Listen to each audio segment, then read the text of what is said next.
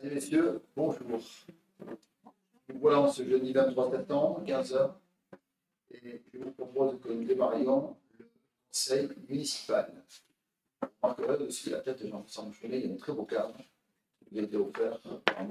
Mohamed Chérif Camara. C'est un poème sur le bassin d'Arcachon qu'il a fait avec toutes les villes. Donc je lui ai promis qu'il serait dans la, réunion, dans la salle du conseil municipal ce jour. Et ensuite, il partira à la, à. Va bien, bouchon, dessus. Donc nous allons ouvrir la séance. Je vais faire l'appel. Gérard Sagne, Présent. Madame Grondot-la-Brigitte, Présent. Bruno Pastoureau, Présent. Dominique Poulain, Présent. Jean-François Boudigue, Présent. Isabelle Devarieux, Pascal Berillon, Éric Bernard, Nathalie Delfaux, Georges Ambroise a donné procuration à Bruno Pastoureau, Dany Desmolles, Stéphane Slack, Geneviève Sec, Charlotte Cousin. Ça va vite. hein. Euh, Nicolas Bouilleroux, Nelly Delpine, Alexis Vaution, Marie-Hélène Plantier, Jean-François Bouchonnet, Florence Petard. Euh, eh, si tu veux, je te disais que je suis un trou de même. Thierry, Thierry Maisonnade, Dominique Lucas, Madame Delmas, et vous aussi. C'est incroyable, la fois que je me fasse soigner. Hein. Ça, va, me revenir. Christine, euh, Marielle Philippe, Marc Muret, Elisabeth Montaimaca, Alain Choteau, Alexandre Pamiès, elle vient d'arriver, Valentin Deis, Angélique Tilleul a donné procuration à Christelle Jekyll, Fabien Dufay, Présent. Christelle Présent. Philippe Bus a donné procuration à Delphine Delepine, Catherine Otaburu Présent. et Patrick Davé, présent. Merci. Allez, du sérieux, du sérieux maintenant. Euh, désignation avec l'accord de l'Assemblée d'un secrétaire de séance conformément à l'article 21-21-15 du Code général des collectivités territoriales. Je vous propose Madame Nathalie Delfaux. Nathalie, c'est bon C'est enregistré. Approbation du procès verbal du conseil municipal du 29 juin 2021. Y a-t-il des choses sur lesquelles vous revenez? Ah, Monsieur Murat donne les pouvoirs à Christine Delmas. Merci. Donc je reviens sur l'approbation du procès verbal du conseil municipal. Il n'y a rien. Euh, je vous propose et je vous demande, avec l'accord de l'Assemblée, de déroger à l'article 5 du règlement intérieur du conseil municipal afin de procéder à la lecture des deux questions orales du groupe Avançons ensemble en début de séance. Êtes-vous les uns les autres d'accord? Oui. Il n'y a pas d'opposition? Bon, donc Monsieur Lucas, je vous laisse lire vos deux questions. Puisqu'il y avait une question écrite? À laquelle nous répondrons par écrit dans un, délai, puisque on, l'a prise, même si on n'était pas dans les délais, mais on répondra, nous, dans, le délai qui nous est imparti, c'est-à-dire un maximum de, de 30 jours. Dans un premier temps, euh, il s'agit du parking de délestage de la Dune. Donc, Monsieur le maire, l'été 2021 a vu la mise en place d'un service de stationnement de délestage du parking de la Dune sur le site du parc des expositions. Notre groupe a été bien entendu favorable à cette initiative qui était plus pertinente que l'idée initiale de parking relais au Baou.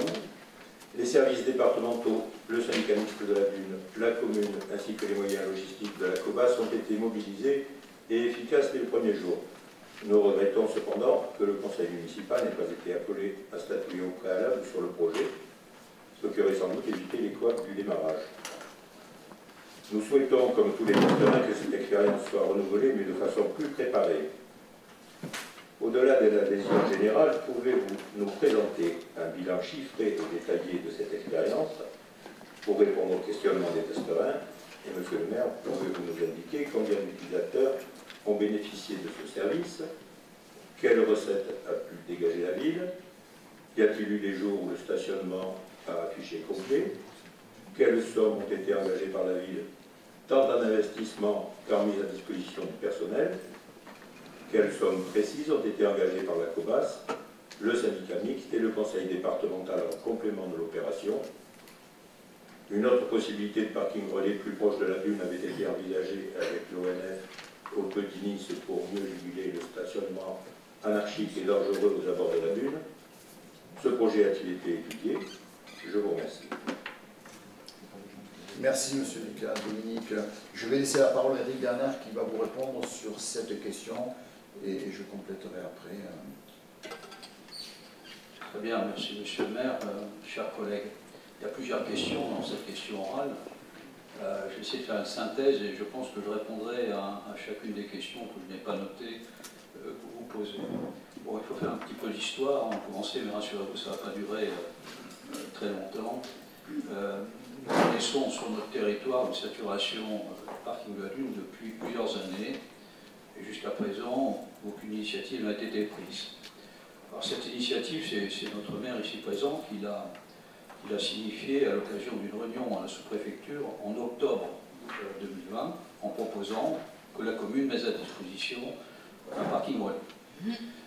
Pendant euh, plusieurs mois, on est resté sur cette proposition qui n'a pas été ni suivie des euh, ni concrétisée, que ce soit tant par les autorités euh, de la sous-préfecture, qui représentera en organisation générale l'État, et pas du tout suivi des faits non plus par euh, la présidence de la Dune, qui n'a pas du tout pris cette chose comme étant une chose intéressante. Nous avons perdu beaucoup de temps, jusqu'en début mai euh, 2021, avec une première réunion en début de semaine, de- de- c'était la première semaine de mai, dans laquelle la proposition a été reconduite. Et malheureusement, en cours de séance, la séance n'a pas débouché. Jusqu'au vendredi de la même semaine où la sous-préfecture, ayant pris le dossier à bras corps, a pu euh, nous engager fermement à ce que nous proposions une chose coordonnée. Alors, quels moyens?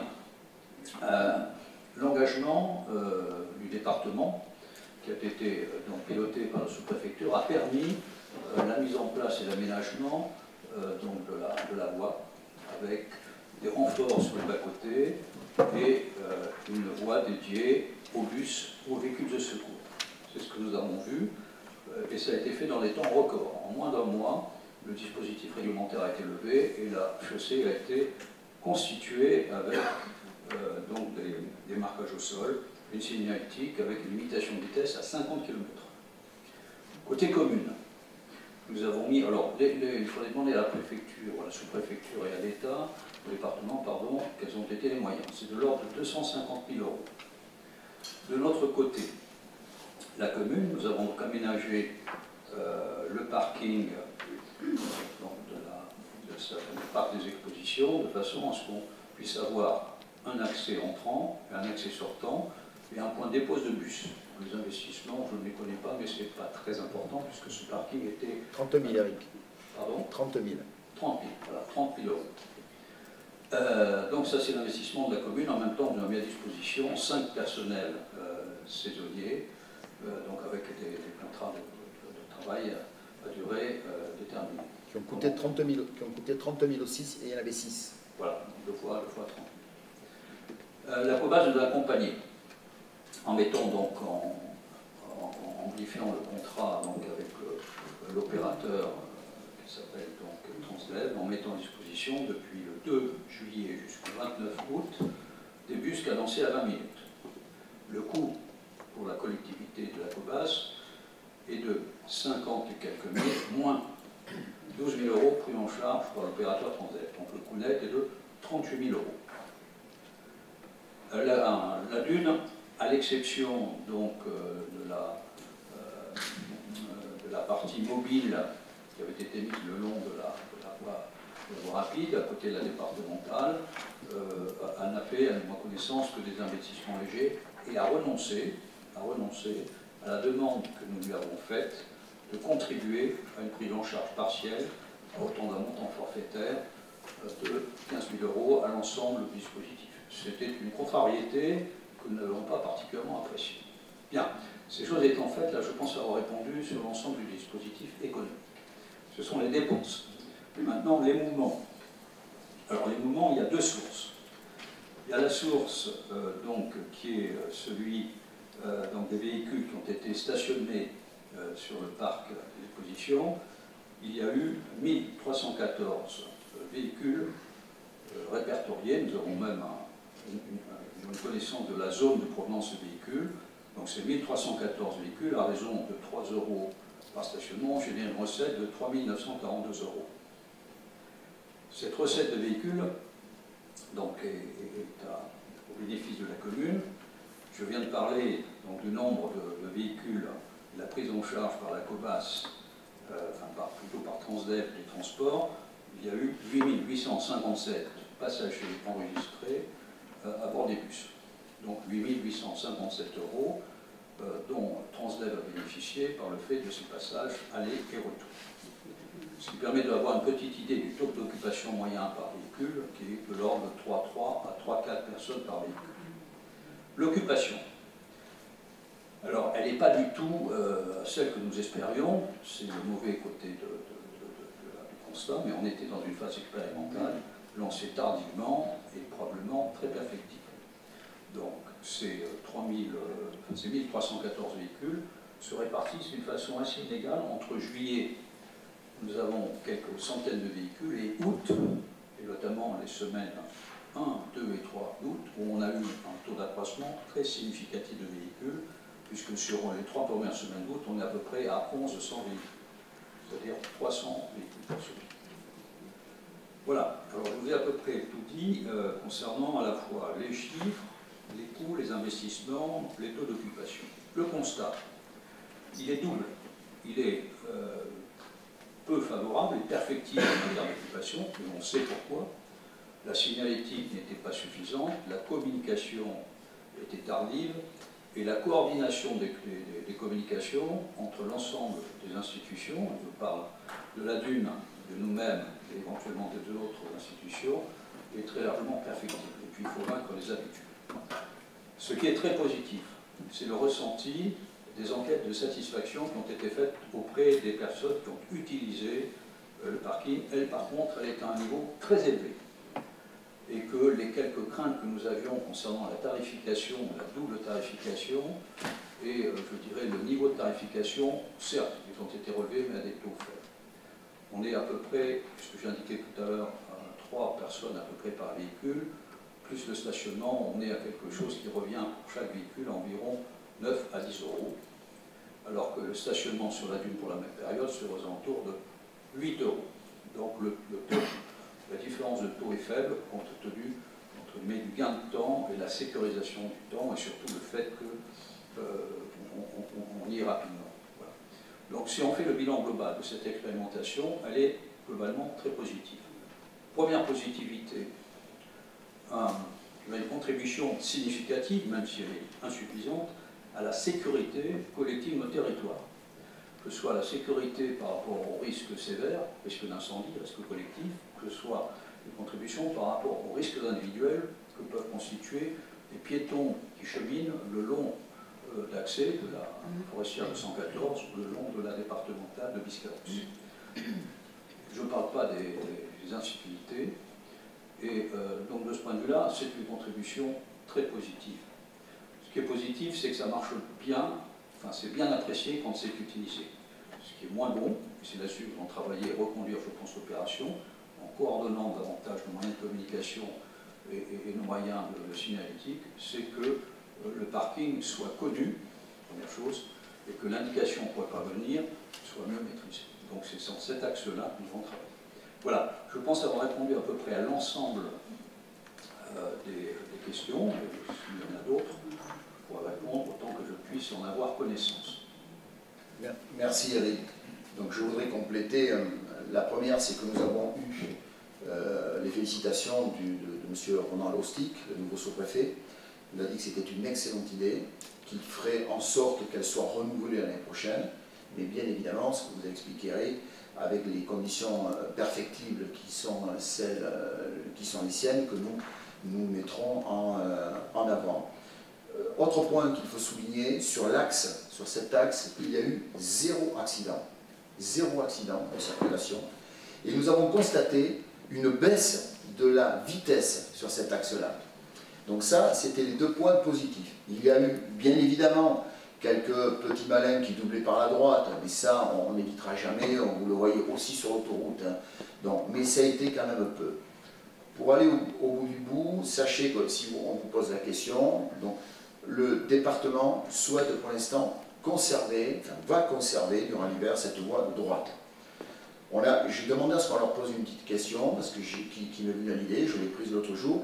ne serait-il pas, pendant la période d'hiver, utile d'indiquer que ça pourrait être un couleur pour les véhicules lents? Parce que l'autre jour, ce qui m'a fait tilter, j'ai vu un véhicule de collection qui s'est mis à droite, parce qu'il roule à 50 et qu'il ne voulait pas gêner euh, les autres. pourquoi pas, on va poser la question si c'est possible, voie, autant l'utiliser. Donc voilà, c'est un succès, il faut quand même, euh, dans, l'esprit, c'est un succès, Eric a tout dit, je ne vais pas y revenir. Moi, ce que je voudrais, je voudrais aussi profiter quand même de parler de la dune. Euh, bon, vous l'avez tous lu, vu, entendu, que nous n'avons pas la présidence de la dune, et j'en avais fait, j'en avais fait une, des priorités, je, je, voulais récupérer cette dune du Pilat, bon, on ne va pas revenir sur le vote, vous le savez, 2 euh, contre 4, c'est difficile. Euh, dans il y a certains combats qui peuvent se gagner à 2 contre 4, mais dans un vote, ça ne peut pas se gagner. Dans tous les cas, aujourd'hui, il est fait. On ne le remet pas en cause. Aujourd'hui, avec Eric, nous serons euh, de, bons élèves. Néanmoins, néanmoins ça n'enlève pas la déception que j'ai pour les testerins. Ça ne n'enlève pas cette déception, parce qu'aujourd'hui, ce matin, nous étions au titre du euh, syndicat mixte de, déport du bassin au domaine de Certes, euh, voilà, il n'est pas géré par, par les tiers. Quoi, hein. Donc c'est anormal, c'est une anomalie, je leur ai dit, qu'il s'agissait d'un vote idéologique, c'est une évidence. Mais je n'oublie pas quand même, et je n'oublie pas qu'il y a six ans, vous l'avez offerte cette dune, parce que même pas candidat, quoi. Même, mon prédécesseur n'a même pas été candidat. Même pas, donc on l'a offert cette dune. Et ça, je n'oublie pas non plus, ça reste l'histoire, c'est notre dune. C'est notre dune à tous ceux qui sont ici. Elle est à personne d'autre. C'est à nous de la gérer. Et on ne la gère pas. Voilà, je ferme la parenthèse, mais c'était quand même à dire. Je l'avais sur, euh, sur l'estomac je voulais vous en faire en profiter à tous par rapport à cette première question. Dominique, si tous les repostes conviennent, on passe à la deuxième.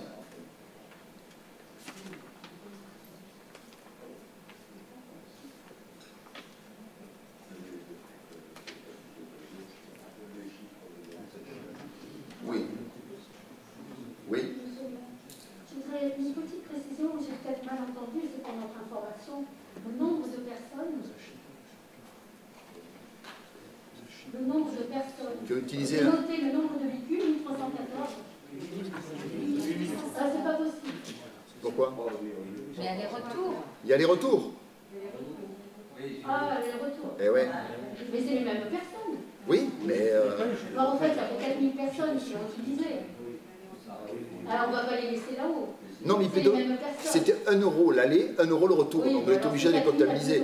C'était pas 2 euros le, le, voyage, c'était 1 euro l'aller. Si, si, au retour, si au retour il décidait de passer par Arcachon. Euh. D'accord, mais pour la bonne vision, c'est 4000 utilisateurs, pas 8000. Bon, ça c'est du... 4 000 à 2 euros. Et 8 000 trajets. Oui, mais comme c'était 1 euro, ça fait 8 000. Oui, mais c'est pas 8 000 personnes, c'est 4 000 personnes. Allez, on est dans le, dans le détail là. Dominique, à toi. Euh, il s'agit maintenant d'une réponse à une question après l'avertissement qu'a reçu notre collègue Marc Muret donc, Monsieur le maire, c'est très respectueusement que je souhaite répondre au nom du groupe Avançons Ensemble au courrier que vous avez adressé à notre collègue Martinet à l'issue du conseil municipal. Je rappelle pas le texte, que je pas Nous avons bien noté qu'à deux reprises, notre collègue a réagi avec une grande spontanéité alors que vous aviez la parole. Une première fois, lorsque vous avez reproché publiquement l'absence des membres de l'opposition lors des manifestations officielles, alors que depuis un an, et votre insu probablement, nous n'étions destinataires d'aucune de ces invitations. Depuis, vous avez fait le nécessaire et les choses se sont améliorées immédiatement. Nous nous en remercions. Ultérieurement, lors du débat sur la zone de protection de Pilat-sur-Mer, vous avez interrompu l'intervention de M. Muret, que vous avez qualifié de perturbatrice et inappropriée, sa longueur vous paraissant sans doute excessive. Vous avez souhaité clôturer le débat alors que plusieurs d'entre nous avions préalablement demandé d'intervenir. C'est à cette occasion que vous lui avez signifié un rappel à l'ordre, constituant la première gradation des sanctions prévues par le règlement intérieur du Conseil, bien qu'à aucun moment notre collègue ne nous soit apparu ni familier ni insultant dans ses propos. La police des débats vous incombe, mais n'a pas pour but de sanctionner les commentaires et les interventions qui ne vous sont pas favorables. Il faut cependant reconnaître que ces joutes verbales spontanées, ces coupures de parole non réglementées, génèrent des réactions confuses et inappropriées et des tensions regrettables. Il serait peut-être utile pour éviter à l'avenir ce genre de dérive de compléter le règlement intérieur afin de mieux cadrer pour tout conseiller le nombre et la durée des interventions associées aux délibérations dans un climat apaisé et respectueux des personnes, des institutions et de la liberté d'expression de l'opposition que vous-même appelez de vos voeux dans votre courrier. En vous remerciant de l'attention que vous porterez à ces requêtes, nous vous prions, Monsieur le maire, d'agréer l'expression de nos plus respectueuses salutations. Merci Monsieur Ducasse, merci Dominique. Euh, oui, oui, j'y suis très sensible à ça. Il a quand même eu, j'ai relu, hein, le, le dernier conseil municipal. Sur les premières parties, il a eu des mots quand même parfois qui dépassaient. Il a même réutilisé, il a fait un jeu de mots pour faire le malin, le mot SS. Bon, c'est un peu faisant allusion, bon, c'est un, peu, moyen tout ça. Bon, au-delà de ça, j'entends. Alors je vous fais ici à tout le monde une proposition, enfin, surtout au, groupe, au groupe d'opposition. Faites-moi des propositions par écrit d'ici le 15 octobre. Réfléchissons, faites des propositions et ensuite on, travaille ensemble sur, pour euh, modifier ce règlement intérieur parce qu'on va le modifier. D'accord? Moi j'ai déjà une idée, donc si vous faites des propositions, ben, on pourra trouver un consensus. Si vous n'en faites pas, je vous proposerai mon idée au, euh, prochain, euh, au prochain conseil ou par écrit, je ne sais pas comment ça peut se faire. Donc je vous demande de réfléchir d'ici le 15 octobre par écrit, pour réfléchir à ce, qui peut se faire pour la bonne tenue de ce conseil, dans, le temps, sur le fond, sur la forme, pour la bonne tenue de ce conseil, parce que nous sommes quand même tous ici euh, des testerins, quoi qu'il arrive. On, a, des idées, il n'y a pas d'extrémistes, donc on doit pouvoir quand même se parler, même si on n'est pas d'accord, on doit pouvoir se parler de façon, euh, de façon courtoise et éviter certains mots, même si euh, ils peuvent faire rire à des moments, d'éviter certains, certains mots qui n'ont pas lieu d'être ici. D'accord? C'est entériné, c'est entendu? Parfait. Donc la question écrite, euh, je vous ai répondu, je t'ai répondu Dominique, on répondra par écrit euh, concernant cette question écrite. Donc nous allons pouvoir passer, alors où en suis-je là? Euh, La question des questions orales, donc on l'a vu. et donc en ce qui concerne la question écrite relative au SCOT, on, y, répondra par écrit. Nous allons commencer, avant le conseil municipal, nous avons une motion que je vais vous lire concernant la motion concernant euh, la forêt et plus particulièrement la, contribution des communes au financement de l'Office national des forêts. Mes chers collègues, considérant les décisions inacceptables du gouvernement d'augmenter une nouvelle, une nouvelle fois la contribution euh, des communes forestières au financement de l'ONF à hauteur de 7,5 millions en 2023, puis 10 millions à partir donc, de 2024-2025. Euh, considérant les impacts considérables sur les budgets des communes et des collectivités qui vont devoir rechercher des ressources nouvelles auprès de leurs citoyens, considérant le risque de dégradation du service public forestier dans les territoires en raison du projet de suppression de 500 emplois prévus dans le futur contrat État-ONF, considérant l'engagement et la solidarité sans cesse renouvelée des communes forestières au service des filières économiques de la forêt et du bois en période de crise notamment sanitaire, considérant l'impact très grave de ces crises sanitaires sur les budgets des communes déjà exsangues, considérant les incidences sérieuses sur l'approvisionnement des entreprises de la filière bois et des emplois induits de ce secteur, considérant les déclarations et garanties de l'État reconnaissant la filière forêt-bois comme atout majeur pour l'avenir des territoires, la transition écologique et énergétique, ainsi que la lutte contre le changement climatique, je vous propose, mes chers collègues, en raison de l'ensemble de ces développements, de bien vouloir approuver la motion de la Fédération nationale des communes forestières réunie en conseil d'administration le 24 juin, exiger le retrait immédiat de la contribution complémentaire des communes forestières et la révision complète du contrat objectif, d'objectifs de performance État-ONF, de demander une vraie ambition politique de l'État pour les forêts françaises et un maillage territorial, territorial efficient des services de l'ONF face aux enjeux auxquels la forêt doit faire face. Voilà cette motion qui, comme vous l'avez entendu, hein, qui est de l'Office de la Fédération nationale des communes forestières, on nous l'a fait passer. Nous avons souhaité vous, la présenter parce que oui, il y a, un danger. Alors, vous savez, et ici il y en a quelques-uns qui euh, sont un peu plus à l'aise que nous, nous avions fait euh, le choix il y a quelques années, c'est pas très bien, en 2019 de céder à, l'ONF une partie de notre massif forestier pour le gérer. Nous, étions cinq euh, à l'époque de l'opposition, je vais citer Mme Grondona, Mme Poulet, Mme Pugner, euh, M. Serre et M. Davé, d'ailleurs on est tous là, on est toujours là. nous, nous étions opposés à cette, délibération, on, était en opposition. Voilà, donc aujourd'hui, on nous demande de faire un effort supplémentaire aux communes et nous, nous sommes concernés. Donc je vous demande, pour ceux qui le, souhaitent, que nous euh, approuvions cette euh, motion de, censure. Vous laisse en parler si vous voulez en parler. Sinon, on, passe au vote tout de suite. Alexandre Merci, monsieur le maire. Juste, euh, la motion, elle est plutôt louable. Hein, ligne. Moi, je suis allée un petit peu chercher sur sur le site, etc. Je n'ai pas trouvé beaucoup d'éléments.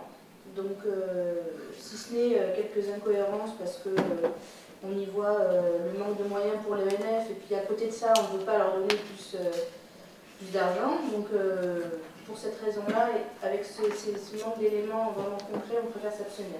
J'entends. Dominique, tu veux, oui, un petit mot. Je, je, comprends le diktat qui est imposé sur les emplois de l'ONF et sur les communes forestières, mais nous avons à la test peut-être un petit bémol à amener, je veux dire que notre commune existe encore grâce aux eaux et forêts et grâce à l'ONF, et il faudrait effectivement euh, créer un... Euh, nous avons déjà le, site de Brémontier pour, pour, nous rappeler à, 500 mètres de la mairie, mais euh, il faut effectivement s'opposer avec vigueur à la suppression des emplois ONF L'ONF, c'est une barrière contre l'envahissement par les sables, contre l'envahissement par la mer, pas simplement la gestion de nos 40 hectares. je pense que c'était, il fallait accepter de gérer nos 40 hectares en remerciement des services rendus à la commune de la Teste depuis 150 ans. Ok. Donc je, mets au vote. Qui, qui s'y oppose? Qui s'abstient? Donc merci pour cette, cette, motion et nous allons passer maintenant à la première délibération du Conseil.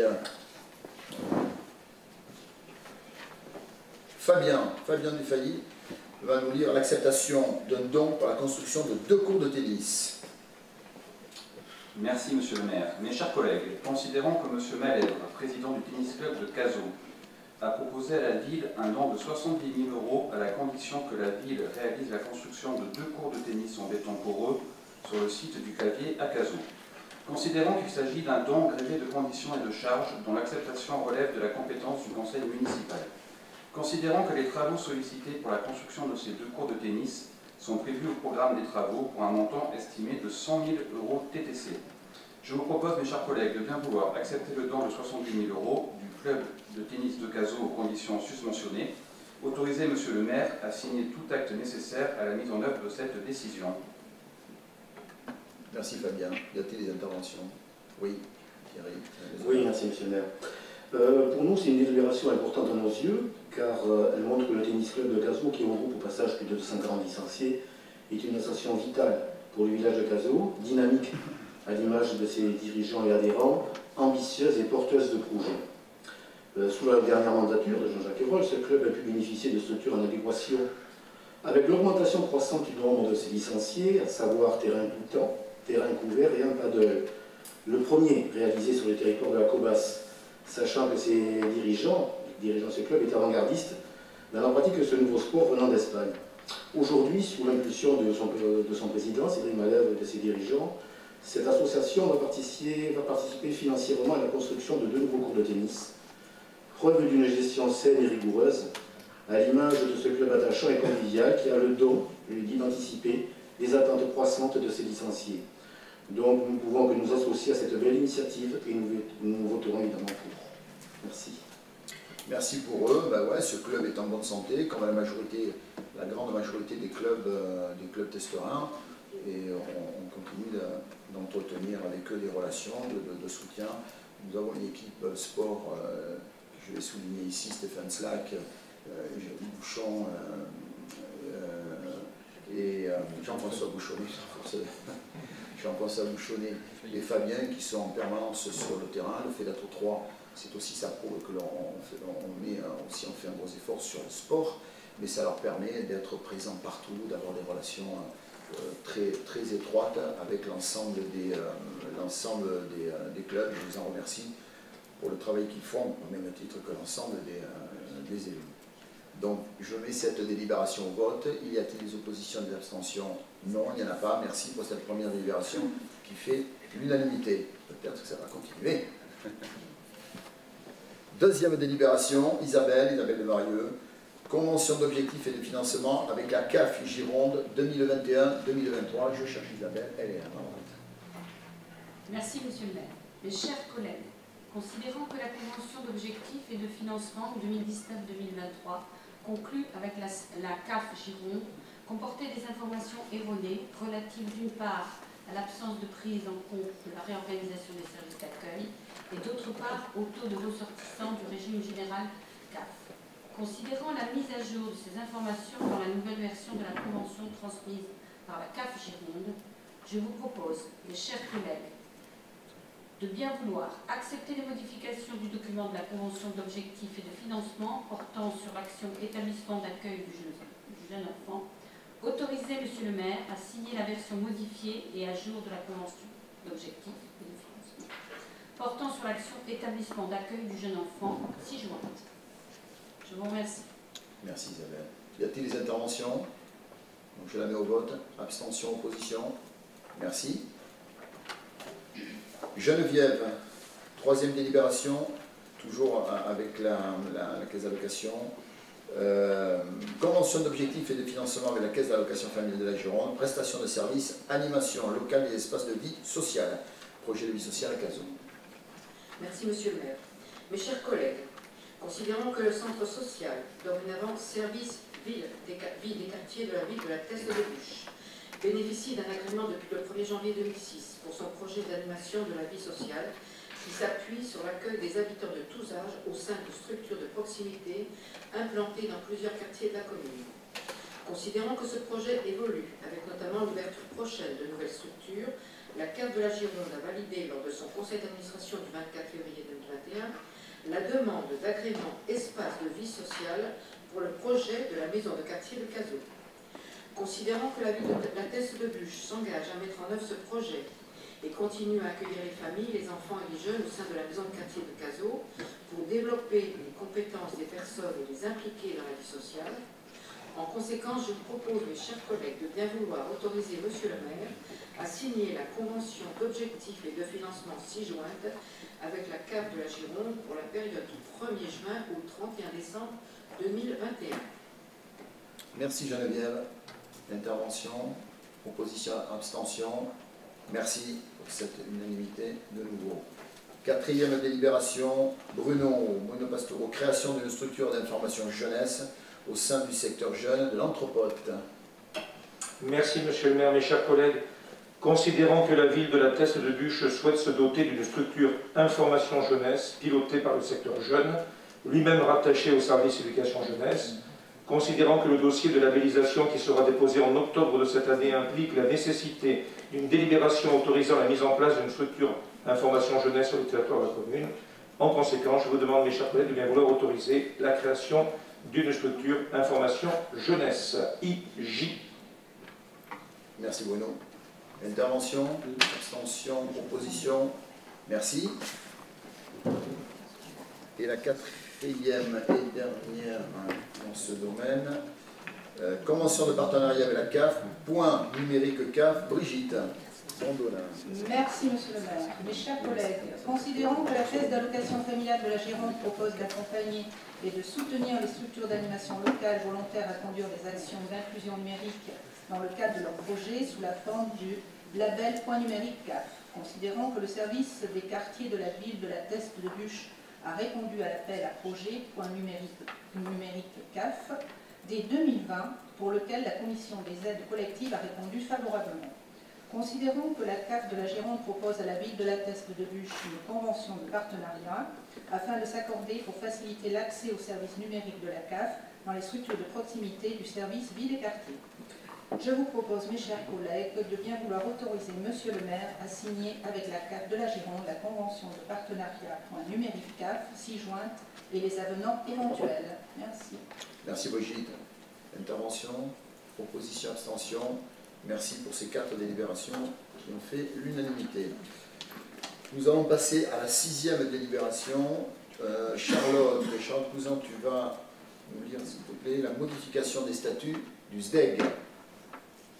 Merci, Monsieur le maire. Mes chers collègues, Vu la délibération du 24 juin 2021 par laquelle le comité syndical du SDEG a approuvé la modification de ses statuts, Considérant que le président du SDEG vient de nous notifier la délibération prise par le comité et les statuts modifiés du syndicat et qu'alors les conseils municipaux, conseils communautaires, comités syndicaux doivent se prononcer sur les statuts modifiés dans un délai de trois mois à compter de cette notification. Considérant que le projet de statut modifié du SDEG a pour principaux objets de modifier la dénomination du syndicat en syndicat départemental d'énergie et d'environnement de la Gironde, de mettre en conformité les statuts avec les dispositions du CGCT en matière d'adhésion des collectivités, de préciser le cadre des compétences exercées, de s'adapter à la nouvelle législation en matière d'envoi dématérialisé des convocations. Considérant que les évolutions sur les compétences concernent la distribution d'électricité et le gaz, l'éclairage public, l'achat et la vente d'énergie, la transition énergétique et écologique, la défense extérieure contre l'incendie, l'urbanisme et le foncier, le SIG. En conséquence, je vous propose, mes chers collègues, de bien vouloir adopter les statuts modifiés du SDEG tels qu'annexés à la présente délibération. Merci Charlotte. Y a-t-il des interventions? Bon, le SDEG, on le connaît tous, hein. on ne va pas se refaire euh, la, chanson, tout, les, euh, tout ce, qui, euh, pour lequel, le, rôle de partenariat qu'il a avec nous, donc on, on, connaît bien. Y a-t-il des, oppositions, des abstentions? Merci. Alors, septième délibération, acquisition de la parcelle GC 353, 347, 447 et 344, partie de la voirie rue du Capitaine, Nelly, Nelly. Merci, Monsieur le maire.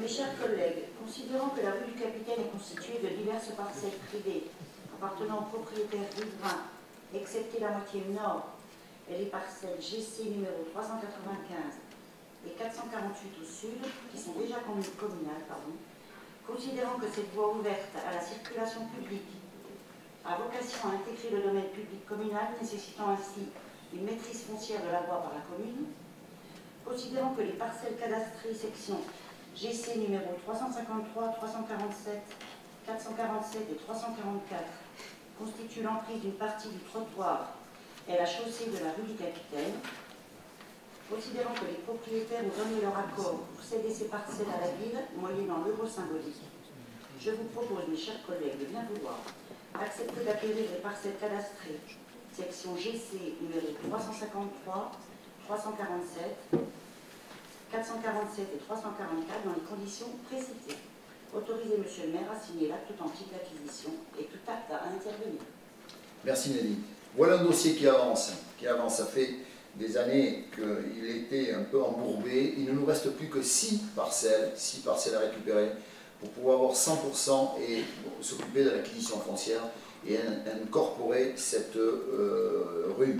Cette rue qui, vous le savez tous, mène à la fois au collège, mène à la fois à, l'école Brémontier, qui est un souci permanent pour les riverains, la, vitesse aussi. Là aujourd'hui, on, leur explique euh, qu'on peut rien n'y faire pas grand-chose, tout au moins, même si on, met quand même de la présence. Et quand nous serons définitivement chez nous, on pourra y mettre un petit peu plus d'ordre et tout le monde en aura besoin. À la fois ceux qui habitent, parce qu'ils sont parfois euh, pas toujours bien garés, à la fois ceux qui l'utilisent. Mais c'est vrai que c'est un dossier qui est long, qui est depuis, euh, depuis des années. On y a mis beaucoup d'énergie, on continue pour finir les six, derniers, euh, les six dernières parcelles qu'il nous reste à, récupérer. Voilà. Y a-t-il des interventions sur cette rue Sinon, nous la mettons au vote. Excusez-moi, Pascal. Oui, je, crois qu'il est important de souligner, c'est que ces travaux, ils montrent le souci permanent, continu, soutenu de la municipalité de garantir la sécurité. La sécurité dans les bois, la sécurité publique, la sécurité de la circulation. Et là, on ne peut que se féliciter des avancées de ce dossier qui, effectivement, qui a été mené jusqu'au bout. Six dernières parcelles à acquérir, c'est euh, relativement vite. En tout cas, cet endroit, il, est vraiment critique et on ne peut que se féliciter de cette avancée. Merci pour l'intervention. Donc je mets au vote. Y a-t-il abstention des oppositions? Il n'y en a pas. Merci pour l'unanimité encore. Nous allons passer donc maintenant à la huitième. Voilà une belle délibération. Reconstruction du groupe scolaire des Miquelots. Gérard, à toi. Merci, Monsieur le maire. Mes chers collègues, considérant la délibération du Conseil communautaire de la COVAS approuvant le projet de reconstruction du groupe scolaire des Nicolos et la réalisation d'un équipement sportif attenant en lieu et place de l'établissement existant, considérant que par la délibération numéro 2020-11-427 du 20 novembre 2020, le conseil municipal a accepté de mettre à disposition de la COBAS, d'une part, un terrain de 4800 m2 cadastré GV 142P, en, vue d'y installer des bâtiments provisoires visant à accueillir temporairement le groupe scolaire pendant les travaux, et d'autre part, la parcelle GV 145 et une partie de la parcelle GV 142, 6, 5 avenue du Pays de Buche, en vue de la réalisation du projet de construction précipité. Précipité. Précipité, pardon. Précipité aussi. Précipité. Considérant que le projet du permis de construire présenté par la COBAS nécessite la mise à disposition par la commune d'une emprise supplémentaire consistant à une bande de terrain de 4 mètres de large côté nord et ouest accolée aux parcelles déjà mises à disposition. Je propose, mes chers collègues, de bien vouloir modifier la libération numéro 2020-11-427 en acceptant de mettre à disposition de la COBAS une emprise supplémentaire cadastrée GV numéro 142P matérialisée en bleu hacheré sur le plan 6 juin. Autorisé, monsieur le maire, à signer le procès verbal de mise à disposition et tout autre acte ou document à intervenir. Monsieur le maire, j'ai préparé un petit slide. Voilà. Je voulais vous présenter, mes chers collègues, le, futur établissement. Je pense que tout le monde ne l'a pas encore eu l'occasion de le voir. Sur le slide en haut à gauche, vous avez une vue depuis la rue. En bas à gauche, vous avez une vue de la cour. Après, au milieu, en bas, vous avez aussi une vue de la rue. Et sur votre droite, vous avez aussi une vue, le plan de masse des futurs bâtiments. Pour, euh, pour vous donner une ordre d'idée quand même de, la construction, aujourd'hui, il dit 13 millions 800 000 euros TTC sont investis. Ah, aujourd'hui, ça fait presque 14 millions sûrement. 3200 mètres carrés de surface utile. Le calendrier est prévu, la réception est prévue pour juillet 2024. L'opération de reconstruction donc, va comprendre le relogement provisoire du groupe scolaire existant, comme vous l'avez pu le voir, la déconstruction et le désamiantage du groupe scolaire existant, la construction des locaux, la remise à l'état des terrains, six au repli des locaux provisoires. Le relogement donc, se fera dans les éco. En attendant, c'était donc à votre libération. Les travaux de déconstruction vont démarrer mars 2022. 450 élèves pourront rentrer donc en septembre 2024 dans ces nouveaux bâtiments. Cette construction comprendra donc une zone administration direction maternelle, cinq salles de classe maternelle, un dortoir maternel, une salle de motricité maternelle, un jardin pédagogique, une zone d'administration direction élémentaire, 10 salles de classe élémentaire, donc en tout ça fait 15 salles de classe quand même. Une bibliothèque élémentaire, une salle d'informatique élémentaire, un périscolaire autonome maternel élémentaire, un restaurant de restauration, une salle de sport de 600 mètres carrés, avec des vestiaires de 180 mètres carrés pour l'école, pour des associations et aussi pour bassin information. Il est à noter aussi qu'au titre des exigences environnementales, le programme prévoit un choix de revêtement compatible avec un entretien respectueux de l'environnement et par ailleurs, par ailleurs, la production de chaleur sera géothermique. Voilà. Merci Jean. Oui, c'est un bel établissement. Il, regroupe deux en un. Il y en a pas mal qui ont suivi ce dossier euh, ici au niveau de la COBAS, qui regroupe deux en un. Nous avons la chance d'avoir une des directrices parmi nous euh, ici présente. ouais, c'est être un, beau, beau, bâtiment avec la salle de sport dans un environnement euh, qui, est, particulièrement agréable. Donc nous sommes ravis, évidemment, que cette école se fasse. Je crois que euh, nous aurons, j'ai un petit trou, nous aurons terminé nos écoles, vous il en restera, il en restera une peut-être Ah oui, voilà, il en reste une à Caso. Il reste Caso maternelle. Voilà, et après la, la boucle sera bouclée. Merci. Y a-t-il des interventions? Je ne crois pas. Y a-t-il des abstentions, des oppositions? Je, je, doute. Donc on va la voter à l'unanimité. Merci. Tant que l'on parle de construction, euh, je, voudrais faire un, petit, aparté. Alors, vous allez avoir, vous allez avoir la primeur, chers amis, euh, d'avoir le Latest Mag en fin de, séance. Voilà, il a été tiré. Je voudrais sur cela test maille, que évidemment je trouve des qualités, mais je voudrais me permettre, et je vais m'adresser à, vous, M. Lucas, à toi, Dominique, parce qu'il y a dedans, il y a un chiffre, qui est le chiffre de l'hôtel de police à 15 millions. Sincèrement, je te tutoie parce qu'on se connaît bien. Venant de toi, écrire ça, je me dis c'est pas possible, c'est pas lui. C'était un mot d'erreur à me poser d'écrire une sottise, et je, le dis dans ces termes-là parce que c'est mignon une sottise. C'est pas possible, pas de lui. Ça, c'est une information que j'appellerais de radio bistrot. Parce qu'on ne peut pas écrire ça, et je ne peux pas laisser dire ça, puisque nous avons, hein, pour, information, nous avons retenu trois architectes pour construire cet hôtel de police, et le budget que nous leur avons donné, je, vais le lire, l'estimation des travaux pour les bâtiments a été fixée par les services techniques que tu as commandés, puisque tu as été adjoint aux travaux. Donc on peut imaginer qu'on a confiance dans ces gens. Nous, nous avons confiance. Les services techniques de la ville estimaient à 2 160 000 TTC, auxquels s'ajouteront les frais d'études, de maîtrise d'œuvre et les coûts des parkings pour un montant total de l'opération estimé autour de 3 millions TTC. 15, 3, ça fait 5 fois le coefficient 5. Donc, c'est pas de toi, c'est pas possible d'écrire des choses comme ça. C'est pas de toi. On peut pas. Alors, c'est écrit maintenant, les testeurs vont le recevoir, mais enfin, venez, venez, va au service technique, tu as tes entrées, va leur demander, puisque c'est les gens de chez nous qui ont fait le projet. On peut pas écrire un truc comme ça, 15, dans un livre aussi sérieux, par quelqu'un qui est sérieux, mais je te dis ça, c'est du radio bistrot, c'est pas possible, il ne peut pas l'entendre. Donc voilà, je tenais à le dire parce qu'on ne peut pas laisser faire et laisser dire des, choses comme ça. Et on aura un très bel hôtel de police. on proposera même à la police nationale d'y venir s'il le souhaite et s'il ne le souhaite pas. Mais voilà ce qu'il va y avoir et, les travaux, bien évidemment, si je pour aller au bout du bout, hein, puisque c'est des projets. Le projet est actuellement à l'étape du choix du maître d'œuvre. Hein. Un marché public est en cours pour se faire. La procédure choisie est celle d'un marché restreint, c'est-à-dire en deux étapes. Sélection des candidats pour dégager trois meilleures candidatures, puis sélection des offres. Donc, euh, calendrier. 3 mai, publication des marchés. Vous voyez, c'est 3 mai, c'est dans 6 mois. Hein. Publication, euh, du, publication du marché de maîtrise 4 juin, réception des candidatures. 13 septembre, validation des choix. 22 octobre, réception des hommes. Novembre 2021 et, il est prévu, donc, euh, et ça, va, donc ça va démarrer, ça va démarrer. Vous vous inquiétez pour nos projets, ils arrivent. C'est écrit dans la place ce matin. Ils arrivent. Voilà, je tenais à, mettre ça euh, avec euh, courtoisie, mais avec un peu quand même, avec un peu le cœur, le cœur quoi, parce que ouais, on ne peut pas quand même laisser faire laisser dire des choses, des, choses comme ça. Quoi. Voilà, merci pour m'avoir écouté. Ça me rassure, monsieur le maire, et excusez-moi si je me suis trompé, mais je manque Donc je pense que ces chiffres, je les ai entendus quelque part. Mais je, je l'ai déjà entendu aussi, je l'ai déjà entendu. C'est pour ça que quand je dis Radio Bistrot, je ne fais pas... C'est pas le hasard. Bon, allez. Mais ça arrive, hein, ça arrive. Bon, nous allons passer à la euh, délibération du 9.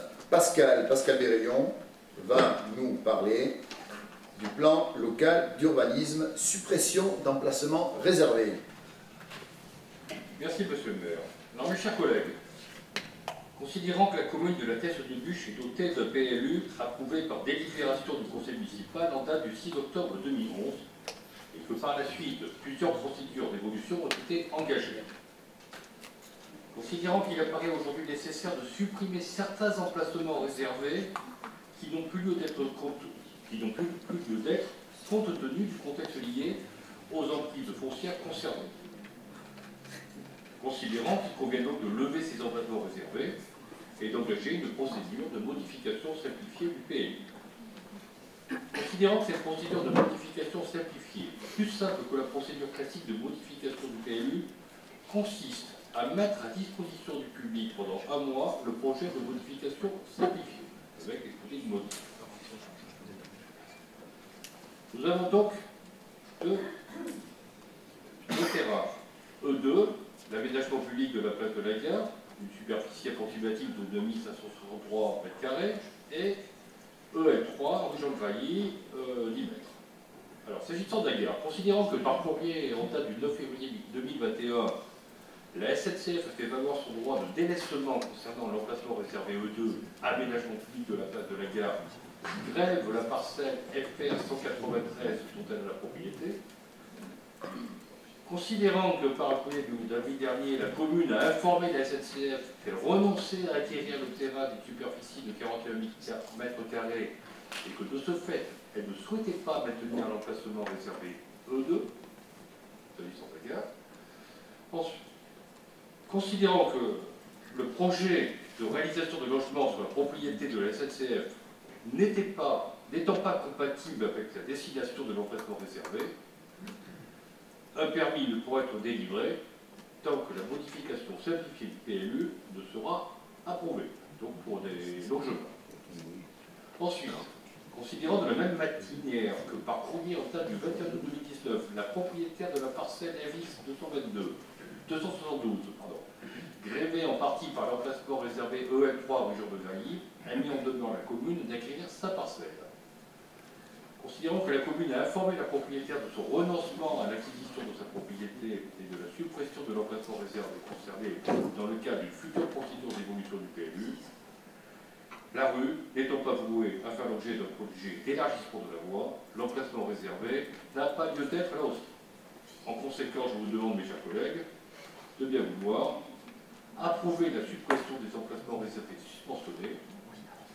autoriser le lancement d'une procédure de, modification simplifiée numéro 4 du PL.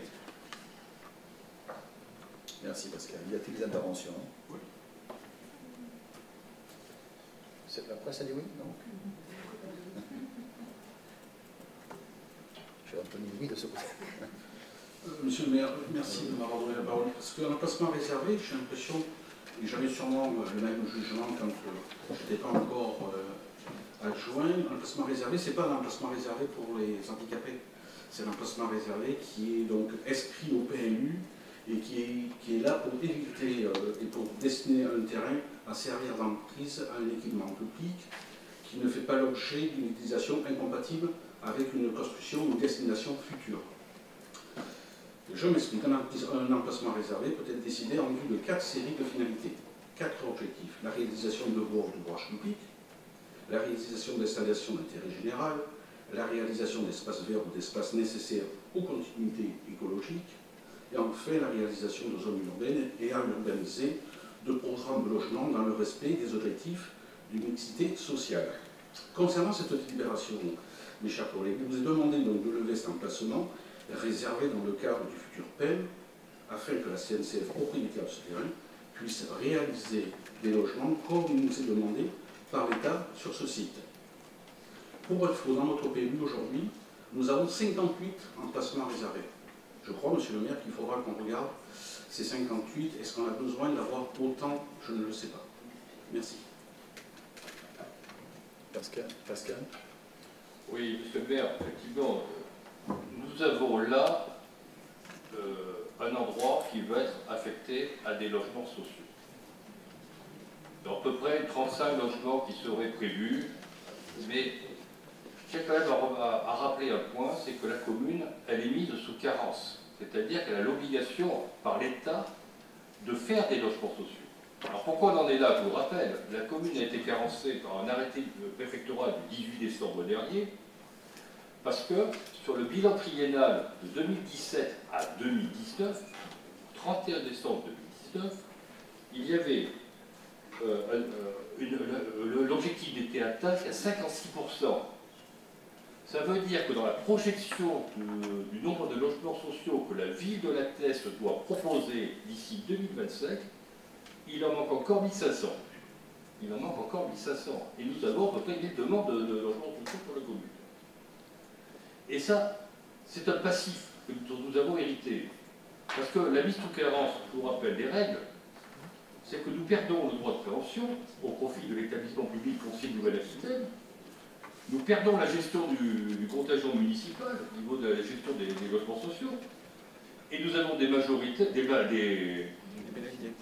pénalités. qui ont été majorées de, 20%, de la vu dans du budget. Et surtout, c'est que maintenant, dans tout programme immobilier, la loi SRU, l'article 55 de la loi SRU, pour les communes qui sont carencées, oblige d'offrir au moins 30% de logements sociaux, c'est-à-dire pour les, pour les immeubles qui ont au moins 12 logements, ou qui ont une surface minimale de plancher de 100 mètres carrés. Et ce sont des contraintes. Ce sont des contraintes qui auraient peut-être pu être levées avant. Moi, moi mon regret, c'est que dans les 12 années précédentes, peut-être que des opportunités auraient pu être soulevées à l'époque où le, la loi SRU euh, imposait 25% de logements sociaux et qu'on aurait peut-être pu aller un peu plus loin pour que la vie soit même pénalisée. Alors maintenant, il faut qu'on soit là pour répondre à ces demandes. Il faut garder la confiance des testeurs. On rappelle, 1000 demandes sont adressées à la mairie. Il faut loger nos actifs, loger, notamment les jeunes qui veulent rester à travailler sur la commune. Mais également, eh ces 35 logements sociaux, petite goutte d'eau, nous avons aussi, aussi de les compléter par euh, notre programme d'aide à l'amélioration du logement ancien. Vous savez, nous avons lancé une ACOBAS, une OPA, une opération programmée d'amélioration de l'habitat, qui s'adresse aux revenus modestes et très modestes, pour la rénovation euh, des logements anciens, pour l'aide au vieillissement, l'aide au handicap.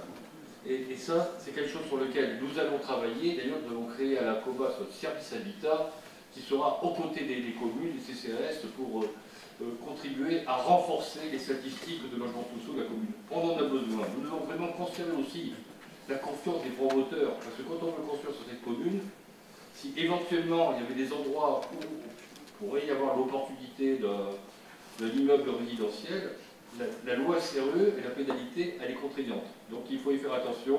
Il faut pouvoir ménager effectivement l'obligation de logements sociaux, mais également garder ce cadre végétalisé et cet, urbanisme raisonnable auquel euh, nous tenons. Moi, on est dans un pays, dans une région, dans, un, dans une commune où le foncier est cher, il est rare.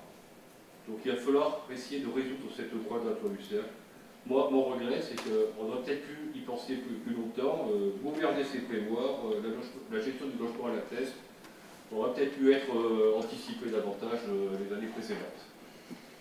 Merci Pascal. Dans tous les cas, ouais, que nous sommes dans une situation, je, vais vous laisser la parole à Mme Nas, nous sommes dans une situation qui n'est pas facile, hein, on, l'a évoqué, nous sommes carencés à plusieurs points, donc aujourd'hui on a deux solutions. Hein. Soit on fait euh, les têtes brûlées et on nous impose tout, soit on essaie de trouver des solutions, c'est ce que l'on fait, et on nous laisse, pour nous laisser la main, parce qu'il y a un sujet, moi, qui m'importe, enfin, il y en a plusieurs, mais un en particulier, c'est l'attribution. Voilà, je veux faire, je fais le forcing pour que l'attribution revienne aux gens d'ici, les gens qui, euh, hein, euh, ça peut être, vous savez, des gens qui travaillent ici, des gens qui travaillent dans, de la grande surface, des gens qui travaillent à l'hôpital, c'est ceux-là qui viennent nous demander des logements, ou bien des gens pour qui la vie euh, bascule un peu, une séparation, un divorce, ou, même la vie, euh, la vie comble avec une naissance supplémentaire et il faut une chambre de plus. C'est tout ça qu'il faut aider. Et ça, pour les aider, eh bien, il faut que nous euh, ayons d'excellentes relations avec le monde qui aujourd'hui nous impose les choses. Ce n'était pas le cas il y, a, il y a 14 mois, mais aujourd'hui c'est le cas. Il faut que nous ayons des solutions. Mais, mais ça n'enlève pas, je l'avais déjà dit et je vais le redire, ça n'enlève pas une seule chose qui n'est pas négociable, c'est ce que j'avais dit au secrétaire général de, de, de, Madame la Préfète, c'est la qualité de vie. La qualité de vie, ça, c'est pas négociable. Moi, je ne veux plus des immeubles comme j'ai derrière, où euh, tous les jours, on voit comment ils s'habillent, comment, euh, qu'est-ce qu'ils mangent, à quelle heure ils font le lit, le ménage, on sait tout de leur vie. De ça, je n'en veux pas. Et je l'ai signifié. J'ai dit que moi, si j'étais assis en face de lui, je lui ai dit, monsieur, c'est parce que mon prédécesseur n'a pas écouté les testerins. Moi, je veux les écouter et vous ne m'imposerez pas de faire ce qui n'est pas possible de faire à la test. Voilà. Après, ils feront ce qu'ils voudront, mais dans tous les cas, j'y mettrai euh, de l'énergie. À la dune, ils ont vu que j'étais capable, jusqu'où j'étais capable de, faire patienter le dossier avant de le signer. Je l'ai eu deux mois sur le bureau je m'étais refusé de le signer. Après, j'ai pris un engagement une parole avec le, le sous-préfet. J'ai fait, et lui, il a pris un engagement, il a donné sa parole pour que nous travaillions justement sur ce qu'on a évoqué tout à l'heure, le stationnement et la sécurité. Donc il m'a promis que ça sera fait, ça sera fait. Mais moi, s'il faut aller au bout des choses, je vais au bout des choses parce que la priorité, c'est loger nos gens, mais pas dans n'importe quelle condition. Pas dans n'importe quelle condition. Madame Delmas, Christine, je vous avais levé le bras tout à l'heure, je vous laisse la parole. Oui, merci Monsieur le maire. Euh, effectivement, je n'avais pas prévu d'intervenir, mais tout ce que j'entends euh, m'interpelle quand même. Alors, le discours de Monsieur Berillon, qui se rapproche du, discours qu'on a eu euh, très longtemps. qu'effectivement, il faut faire du logement, effectivement, il faut loger les testerins, bien que là aussi il y a des lois, et que vous le savez, on peut nous imposer qui loger aussi. Hein. On n'a pas non plus... mais on peut se battre. Et il faut se battre, mais vous le savez, le maire n'est pas au-dessus des lois. Rappelez-vous, vous avez... Excusez-moi, monsieur le maire, j'ai la parole. Excusez-moi. Je la prends, je la garde. Vous avez raison, excusez-moi.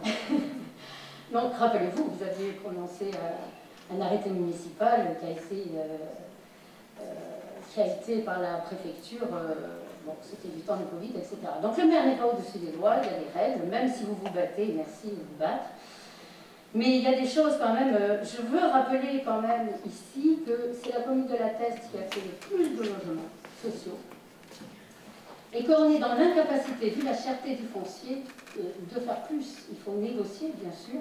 Il y a des objectifs qui sont inatteignables, euh, qui sont donnés par les services de l'État, qui sont inatteignables, puisqu'il faudrait faire que du logement social qui va à l'encontre de la mixité sociale, et ça, c'est pas possible.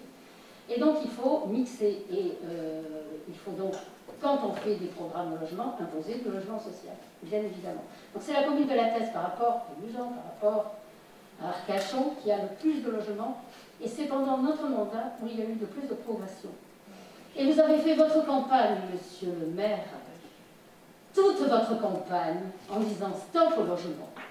J'ai pour exemple le secteur du BAM, parce qu'on ne pouvait pas nous mentir au restaurant. Ça, c'était pas possible. Le BAM, le secteur du BAM, on avait un projet de 130 logements. Et là aussi, certainement des histoires de bistrot, hein, ça a été multiplié par je ne sais pas combien pour faire peur au restaurant. Et vous avez dit que, bon, euh, vous ne feriez pas de logement, etc. On a eu pour expliquer que le terrain ne nous appartenait pas, qu'il appartenait au département. Même ce matin dans la presse encore, vous laissez le doute. Vous dites le terrain a été vendu à Gironde Habitat. Le terrain n'appartenait pas à la ville, il appartenait au département. Gironde Habitat est le bailleur social du département. Donc bien évidemment, le département a vendu à son bailleur social le terrain. Et ces, logements vont se faire. On le voit d'ailleurs dans les aliénations. Tous les logements que nous avions prévus vont se faire. Alors, je me souviens de la lettre euh, de Madame la préfète en décembre, qui louait les efforts faits par la commune. Et c'est rare quand une administration loue les efforts faits par une commune. Et elle vous demandait quels étaient euh, vos objectifs. Et là, vous avez fait une réponse vague, aucun élément concret. Et c'est pour ça qu'on est arrivé à cette situation. Aujourd'hui, vous êtes confronté à la réalité, au texte, aux lois, à la réglementation. Et euh, nous nous apercevons que des logements, évidemment, il y en aura au Baou, il y en aura de nous. On s'aperçoit qu'au secteur de la gare, évidemment, bah, pour réduire le coût du, du vous allez permettre à la SNCF de faire des logements pour euh, réduire le coût euh, à la co-base du, du et finalement, on s'oriente vers euh, ce qui était prévu. Voilà. Je pense que si vous n'aviez pas fait toute cette campagne Stop au logement, peut-être que, la, la, préfecture avait que ça hein, comme élément concret, peut-être qu'on n'en serait pas là. Quant aux immeubles où vous voyez en face, il va falloir m'expliquer en hypercentre euh, comment on peut, et pourtant ça c'est séparé par les rues, hein, comment on peut euh, ne pas voir, quand il n'y a pas de rideau, mais euh, dans n'importe quelle maison, s'il n'y a pas de rideau, on voit, comment la personne s'habille. Hein. Voilà. Je vous remercie de m'avoir donné la parole et, euh, et ne sera pas fini pour ce conseil. Juste un petit complément. vous n'avez pas été battu sur les projets, vous avez été sur ce que vous avez fait. Donc, ce que les gens ne voulaient plus quand je dis stop, d'ailleurs, il a plus, vous avez jusqu'à présent, ça fait 14 mois, il n'y a pas une grue pas une grue dans la ville de la Teste. C'est ce que les gens ne voulaient plus. ce que les voulaient plus. Deuxièmement, euh, quand vous faites allusion à l'immeuble derrière, quand on prend les architectes qui connaissent bien leur métier, et on, vous présentera, parce que je vous fais une annonce, le 14 janvier, nous ferons des vœux en présentiel, et on vous présentera des projets. Donc dans ce que vous avez dit, oui, mais on va les faire, mais on l'espère en mieux. On va faire en mieux. C'est-à-dire qu'on a réfléchi, on, travaille sur, on a regardé ce que vous avez proposé. Et on s'est dit, c'est pas comme ça qu'il faut le faire. C'est pas ce qu'attendent les gens. Mais un immeuble comme derrière, si on prend un architecte qui se, qui se préoccupe de la qualité de vie, de la qualité de vie, il peut tourner. Vous savez, il y a deux endroits ici, puis bon, enfin, il y en a un surtout sur lequel nous sommes en train de travailler qui va bouger. C'est l'îlot Franklin. c'est en train de travailler là-dessus. Et justement, une des préoccupations, c'est justement la, promiscuité, c'est justement les, problèmes de, voisinage sur lesquels on travaille. Donc là, ils n'ont pas travaillé. Là, ils n'ont pas travaillé. D'ailleurs, les gens, ils se mettaient des canisses, des ci, des là, mais tout ce qu'il ne faut pas mettre pour, pour, euh, pour euh, en ils enfin, tout au moins, ils mettent ce qu'il faut pour les dire, ils ne mettent pas tout ce qu'il faut pour embellir. Donc, c'est ça aussi. C'est ce travail qu'il faut avoir. Il faut, il faut avoir, si vous voulez, il faut, il faut travailler sur l'avenir, se poser la question, mais comment les gens vont vivre? C'est tout ça. Vous voyez, je vous parlais d'autre chose. Je, vais faire un, léger dérapage. On est en train de travailler aujourd'hui, et là je peste, mais je peste terriblement, le doublement, la, 660 qui arrive chez nous. Vous n'avez même pas pensé quelles étaient les conséquences de cette deux par rapport à la sortie de la plaine des sports. C'est une catastrophe aujourd'hui. Heureusement, nous, on est en train de travailler, mais on n'a pas demandé, on n'est pas en train de travailler en disant il faudra prévoir pour le prochain coup. Non, non, non. J'ai demandé aujourd'hui à la COBAS où on était le coup, il reste de l'argent, donc on va prévoir une sortie de bonne nouvelle. C'est la roulette russe quand le dimanche après-midi il y a le match et que ça, ça circule, c'est une roulette russe. Donc, et ça, ça n'avait pas été prévu. Je veux dire, alors, bizarrement, il y a une entrée euh, dans la zone qui est prévue juste en face la station-service d'une marque de grande distribution avec trois stops, avec euh, une sortie un peu hasardeuse, mais bon, c'est fait, juste en face d'une euh, station-service, donc d'une grande distribution, mais cette sortie de Bonneval, pas prévue. C'est ça qu'il faut, il faut se projeter une fois que ça arrive. C'était sûr que les embouteillages allaient arriver chez nous. Et là, on se dit, ben, la plaine du sport, ben, on verra plus tard. Mais non, c'est maintenant qu'il faut voir. Le samedi après-midi, il y a les parents avec les enfants qui sortent. Le dimanche, il y a, tout le temps du monde, cette zone-là. L'autre jour, j'ai vu les voitures qui arrivaient qui ralentissait pour faire la circulation, laisser sortir les gens de, Bonneval pour passer, parce qu'ils ne passaient pas. Voilà, donc vous voyez, je me mais tout ça pour vous dire que nous sommes dans la réflexion, dans l'anticipation. Si on met ça ici, comment ça présenter? Alors, quand on n'a pas, on ne sait pas, puisqu'on ne sait pas la science infuse, on se fait aider par les gens qui savent. Mais les gens qui savent, pas les gens qui pensent savoir. Les gens qui savent, on se fait aider. C'est ça qu'il faut construire. Mais ça sera avec grand plaisir si vous voulez travailler avec nous sur les projets. Parce que la, test, elle ne nous appartient pas, elle appartient pas à 26 personnes, elle appartient aux 35 qui sont là, qui représentent les 28 000 testerins. Ça appartient à ça, et on n'a pas le droit, nous, parce que nous, dans, on réfléchit sur 2050, mais en 2050, là, à part quelques-uns, on ne sort plus beaucoup avant mal aux dents. Hein. Donc il faut, mais il faut le préparer maintenant, le 2050. 2050, c'est pour les enfants qui, qui, vont naître là maintenant et qui auront 20 ans en 2050. C'est maintenant qu'il faut le préparer. C'est pas le subir, se dire après, ah mais merde, on a fait ça, mais tiens, on aurait dû y penser avant. C'est ce sur lequel nous sommes en train de réfléchir. Alors, oui, dans votre question, on va faire du logement social, mais on ne fera pas n'importe quoi comme logements sociaux. Voilà ce que, le, ce que je vais vous dire. Merci. Monsieur le maire. Il y a Dominique et puis quelqu'un deux, deux, deux, prises de parole. Juste une, petite juste une petite remarque par rapport à ce que vous avez fait sur la sortie qui mène vers une enseigne vous allez savoir que juste à côté, quand même, il y a un, hôpital. Et bien pourquoi on n'a pas fait l'hôpital Voilà, donc je pense que si c'est quand même aussi réfléchi, ça a été réfléchi, ça a été réfléchi de ce côté-là, à travers le département, par rapport à la COBAS. Mais pourquoi on n'a pas fait Vous savez, on parlé à la COBAS, vous étiez à la COBAS avec moi. On en avait parlé, monsieur le maire. Vous le savez bien, s'il vous plaît, merci. Aujourd'hui, on a repris ces dossiers. L'autre jour, nous avions une réunion avec tous les services de l'État les services de l'État, poliment, ils nous ont fait comprendre que ils, avaient, évoqué ce dossier-là, mais que ça avait été un peu mis de côté par la mairie de la Teste. Ils nous l'ont gentiment dit, poliment dit, mais, mais ils nous l'ont dit. Ça avait été évoqué, mais ça a été écarté. Voilà. Et ça, j'en suis un peu désolé. Et d'ailleurs, d'ailleurs, je voudrais, ça me permet, je vais rebondir sur autre chose en parlant d'écarté. Tout à l'heure, euh, vous voyez, tout à l'heure, on parlait d'histoire des bus, et tu as évoqué ça a été évoqué la possibilité d'un travail qui avait été fait avec l'ONF sur, la, plage de Petit-Nice.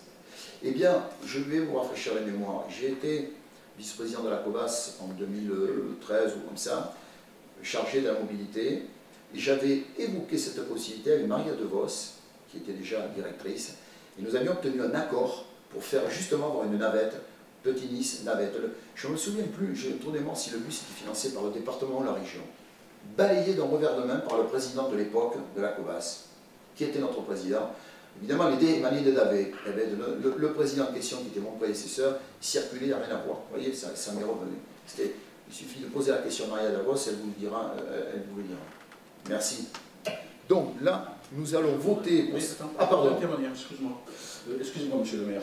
Juste une petite, euh, petite intervention suite aux propos tenus par Mme Delmas, qui m'ont un petit peu surpris. Je ferai remarquer, Mme Delmas, que ce n'est pas notre campagne électorale qui a fait que nous sommes aujourd'hui censurés, que nous sommes sous, euh, sous, sous carence, pardon, carence de, de l'EPF. C'est votre bilan, c'est pas le nôtre. Il ne faut pas confondre. Donc nous, aujourd'hui, nous avons hérité effectivement de, de votre travail sur les six dernières années. Et aujourd'hui, nous, nous sommes carencés. Nous sommes obligés de travailler aujourd'hui avec le PEF pour faire des logements sociaux et pour en faire le plus possible, tout en respectant, comme tout à l'heure vient de le dire le maire, tout en respectant l'environnement et les bâtiments. Donc oui, nous allons en faire, et comme vient de le dire Monsieur le maire, vous aurez le 14 janvier la possibilité effectivement d'avoir tous nos projets, on vous les exposera, et vous vous rendrez compte qu'on a des projets, bien sûr qu'on va construire. On a un projet, vous le verrez en janvier, où il y aura 60% de mixité sociale. Donc c'est quelque chose qui nous prend à cœur et qui nous tient à cœur. Je voulais aussi dire que quand même 82% des testerins sont éligibles aux logements sociaux. Et je pense que vous n'avez pas tenu compte dans votre, pendant, votre, mandat. Merci. Allez, on, passe, on à la délibération. Donc, il y a-t-il des oppositions, des abstentions? Merci. Donc, cette délibération numéro 9 est bien votée. La 10, qui va être lue par Eric, Eric Bernard, qui est la convention de mise à disposition de données issues du système d'information géographique de Terrega. Merci, monsieur le maire. Mes chers collègues, considérant qu'il est dans l'intérêt de la commune de pouvoir bénéficier des données issues du système d'information géographique Terrega dans le cadre de l'instruction des autorisations d'urbanisme, considérant que les données faisant l'objet d'une mise à disposition. Sont les servitudes d'utilité publique relatives au réseau de canalisation de gaz, considérant que la présente convention est conclue pour une durée de un an, compte tenu que le réseau de canalisation de Terrega est susceptible de modifications et d'évolution, je vous propose, mes chers collègues, de bien vouloir approuver la mise à disposition des données issues du système d'information géographique au profit de la commune, ce à titre gratuit, autoriser Monsieur le maire à signer la convention de mise à disposition, si annexée, et toute autre convention à intervenir relative à la mise à disposition des données SIG de Terrega. Merci Eric. D'intervention Opposition, abstention Merci pour cette délibération. La 11, Christelle, la Christelle Giquel demande un enregistrement au titre des ICPE, installation classée pour la protection de l'environnement, pour l'exploitation d'une centrale d'enrobage et d'une station de transit de matériaux inertes sur la BA 120. Merci Monsieur le maire. Mes chers collègues, par arrêté préfectoral du 25 août 2021, une consultation publique a été ouverte en vue d'obtenir l'autorisation d'exploiter une centrale d'enrobage à chaud et une station de transit de matériaux inertes sur la BA 120 par la société Eurovia. Ce projet est soumis à autorisation environnementale au titre de la réglementation des installations classées pour la protection de l'environnement. Afin de recueillir l'avis des habitants sur la demande d'autorisation environnementale, il est procédé à une consultation publique du 17 septembre 2021 au 15 octobre 2021 inclus. Conformément à l'article R181-38 du Code de l'environnement, le Conseil municipal doit formuler un avis sur la demande précitée. En conséquence, je vous propose, mes chers collègues, de bien vouloir émettre un avis favorable sur cette demande d'exploitation. Merci. Merci Christelle. Y a-t-il des interventions? Bon, vous avez des, je sais pas si à l'intérieur vous avez les, les photos, mais c'est quelque chose d'assez assez impressionnant, je crois, Christelle. Je te cherche. Non, oui, je voulais juste apporter donc une petite précision donc, sur les, les conséquences que ce chantier va pouvoir avoir sur notre commune et donc plus précisément sur la commune, sur, sur Cazaux. Donc euh, en effet, la réflexion de la piste d'atterrissage se fera donc, à partir de début novembre, hein, comme vous avez pu le voir dans, les annexes de la délibération, et cela pour environ 4 semaines. Mais euh, l'installation et donc le repli de ce chantier s'éteindra jusqu'à la fin de l'année 2021. Nous pourrons noter donc deux impacts sur la vie quotidienne, euh, avec notamment au niveau de l'entrée de la base, le portail nord de Sanguinet, comme on l'appelle, sera exclusivement réservé aux poids lourds qui sont nécessaires donc, pour acheminer tous les matériaux sur ce chantier, et ce qui entraîne donc une densification du trafic au niveau des véhicules légers d'Encaseux, surtout aux horaires d'entrée et de sortie de la base. Euh, deuxième point, à partir de la mi-octobre, la piste sera indisponible. Donc les unités navigantes de la base seront délocalisées, hormis l'escadron d'hélicoptères. Et donc, euh, elles, feront, donc elles seront délocalisées sur les bases qui sont proches, et notamment la base de Mont-de-Marsan. Euh, en revanche, l'activité aérienne sera moindre effectivement aux atterrissages et décollages puisqu'il n'y en aura plus, mais les espaces aériens qui sont contigus à la base resteront utilisés par les, aéronefs pour leur entraînement. Et donc la reprise de l'activité normale sur la base aérienne est prévue pour le début de l'année 2022. Euh, je profite de cette délibération pour souhaiter au, donc, de, Monsieur le maire et du conseil municipal la bienvenue au colonel donc, qui vient de succéder au colonel Farneau en tant que commandant de la base aérienne et de la base de défense de Cazaux. Et nous avons d'ailleurs très prochainement rendez-vous avec lui et, euh, sa seconde, comme on dit, avec euh, lui pour continuer donc, la collaboration et les liens étroits que nous avons tissés entre la base et notre commune. Je vous remercie de votre attention. Merci Christelle et merci pour ces liens étroits que tu entretiens au, quotidien. Tu les connais bien, ils t'apprécient. On, a des, relations privilégiées avec la base qui est sur notre territoire euh, aussi, n'oublions pas. Donc on va mettre cette délibération au vote. Y a-t-il des abstentions, des oppositions? Merci pour cette délibération. Je vais vous lire maintenant euh, le syndicat mixte des ports du bassin d'Arcachon, SMBPA. Mes chers collègues, considérant que le syndicat mixte ports du bassin d'Arcachon SMP est administré par un conseil syndical composé de 10 délégués élus des collectivités et désignés par leur assemblée délibérante respective, considérant que suite au renouvellement des, des conseils départementaux des 20 et 27 juin 2021, de nouveaux délégués ont été désignés par délibération du conseil départemental du 15 juillet Considérant la désignation de M. Patrick Dabé, conseiller départemental pour siéger au, conseil syndical du SMBPA, considérant que le 29 juillet 2020, le conseil municipal a désigné M. David titulaire et M. Boudig suppléant pour siéger, siéger au euh, conseil municipal. Euh, c'est 2020, c'est pas 2020 C'est 2020 C'est 2020 D'accord. Je suis un petit doute. D'accord. Euh, le conseil municipal a désigné M. David titulaire, M. Boudig suppléant. Oui, d'accord. Euh, suppléant pour siéger au conseil de SMBPA, il est donc nécessaire de procéder à la désignation de nouveaux délégués pour représenter la commune. En conséquence, je vous propose, mes chers collègues, de bien vouloir procéder à la désignation de Jean-François Boudig, titulaire, de Mme Nelly Delépine, suppléante. Merci, oui, bien sûr. Y a-t-il des interventions? Oui Mme Delmas Christine, présidente. Décidément juste pour vous dire, tout comme votre prédécesseur. C'est vrai. Comme quoi, hein, il y a des, points sur lesquels on peut s'entendre. Hein. bon, il n'y a pas de, pas d'opposition, pas d'abstention. Bon, merci pour eux. Bon, pour la bonne nouvelle, euh, c'est que Jean-François Roudig a été euh, ce matin élu, donc le, président du syndicat ministère des Ports, c'est euh, Louis Jean Galland des problèmes avec prénoms aujourd'hui, Jean Galland.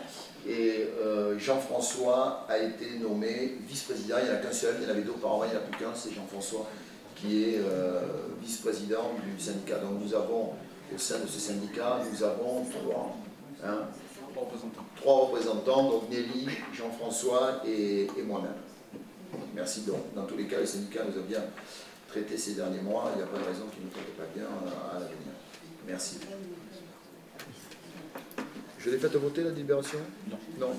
Donc, y a-t-il des oppositions, des abstentions? Merci.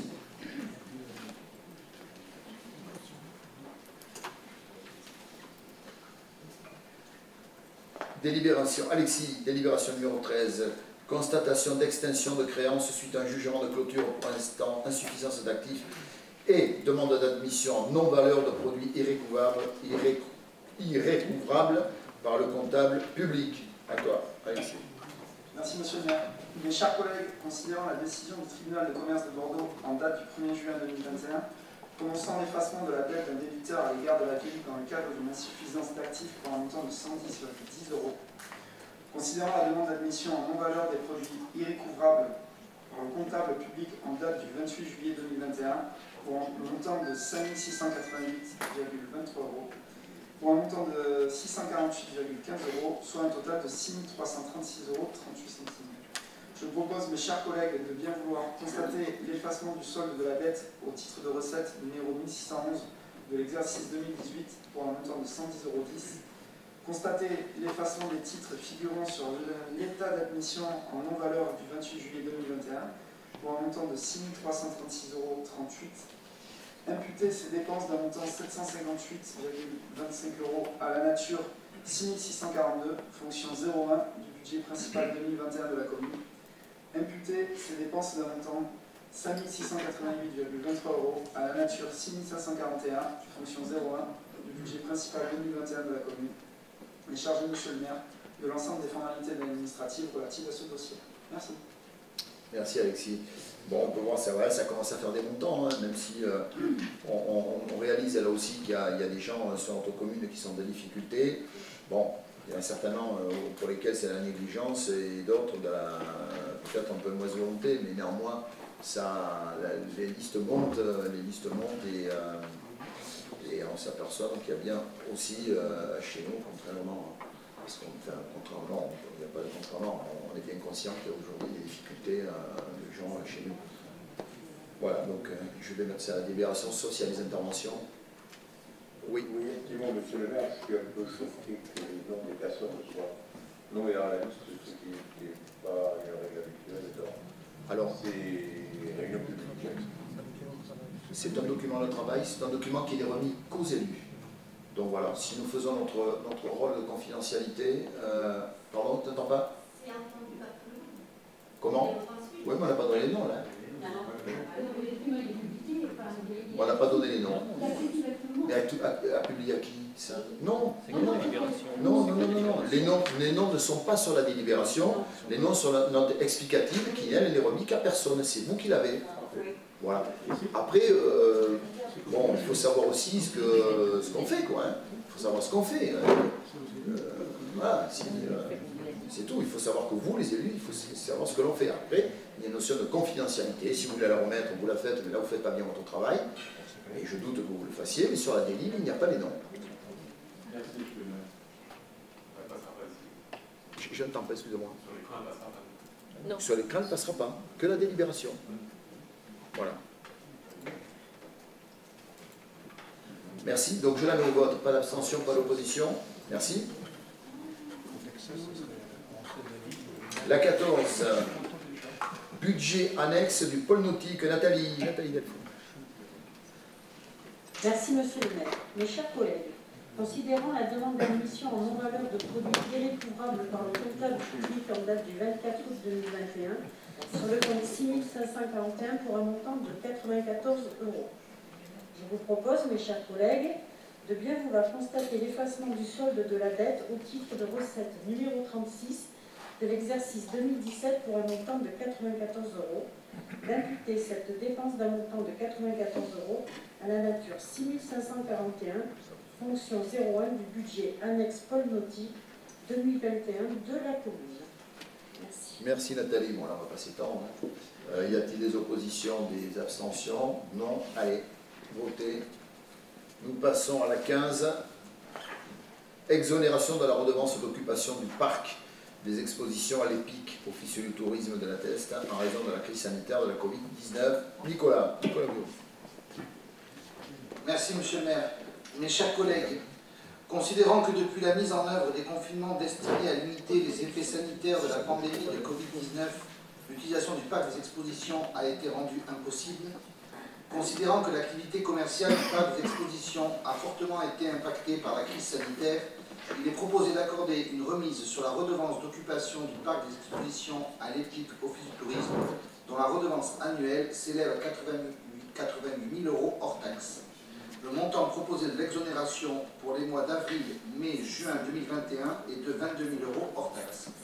Je vous propose, mes chers collègues, de bien vouloir accorder une exonération de la redevance d'occupation du parc d'exposition de 22 000 euros hors taxe à l'EPIC Office du Tourisme de la pièce de Bûche autoriser Monsieur le maire à signer tout acte afférent à cette exonération.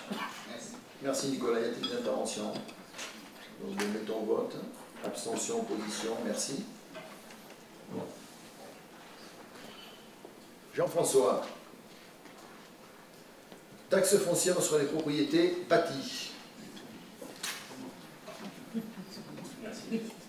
Mes chers collègues, en 2021, la réforme de fiscalité directe locale a conduit à la suppression progressive de la taxe d'habitation et l'affectation de la part départementale de la taxe foncière sur les propriétés bâties aux communes.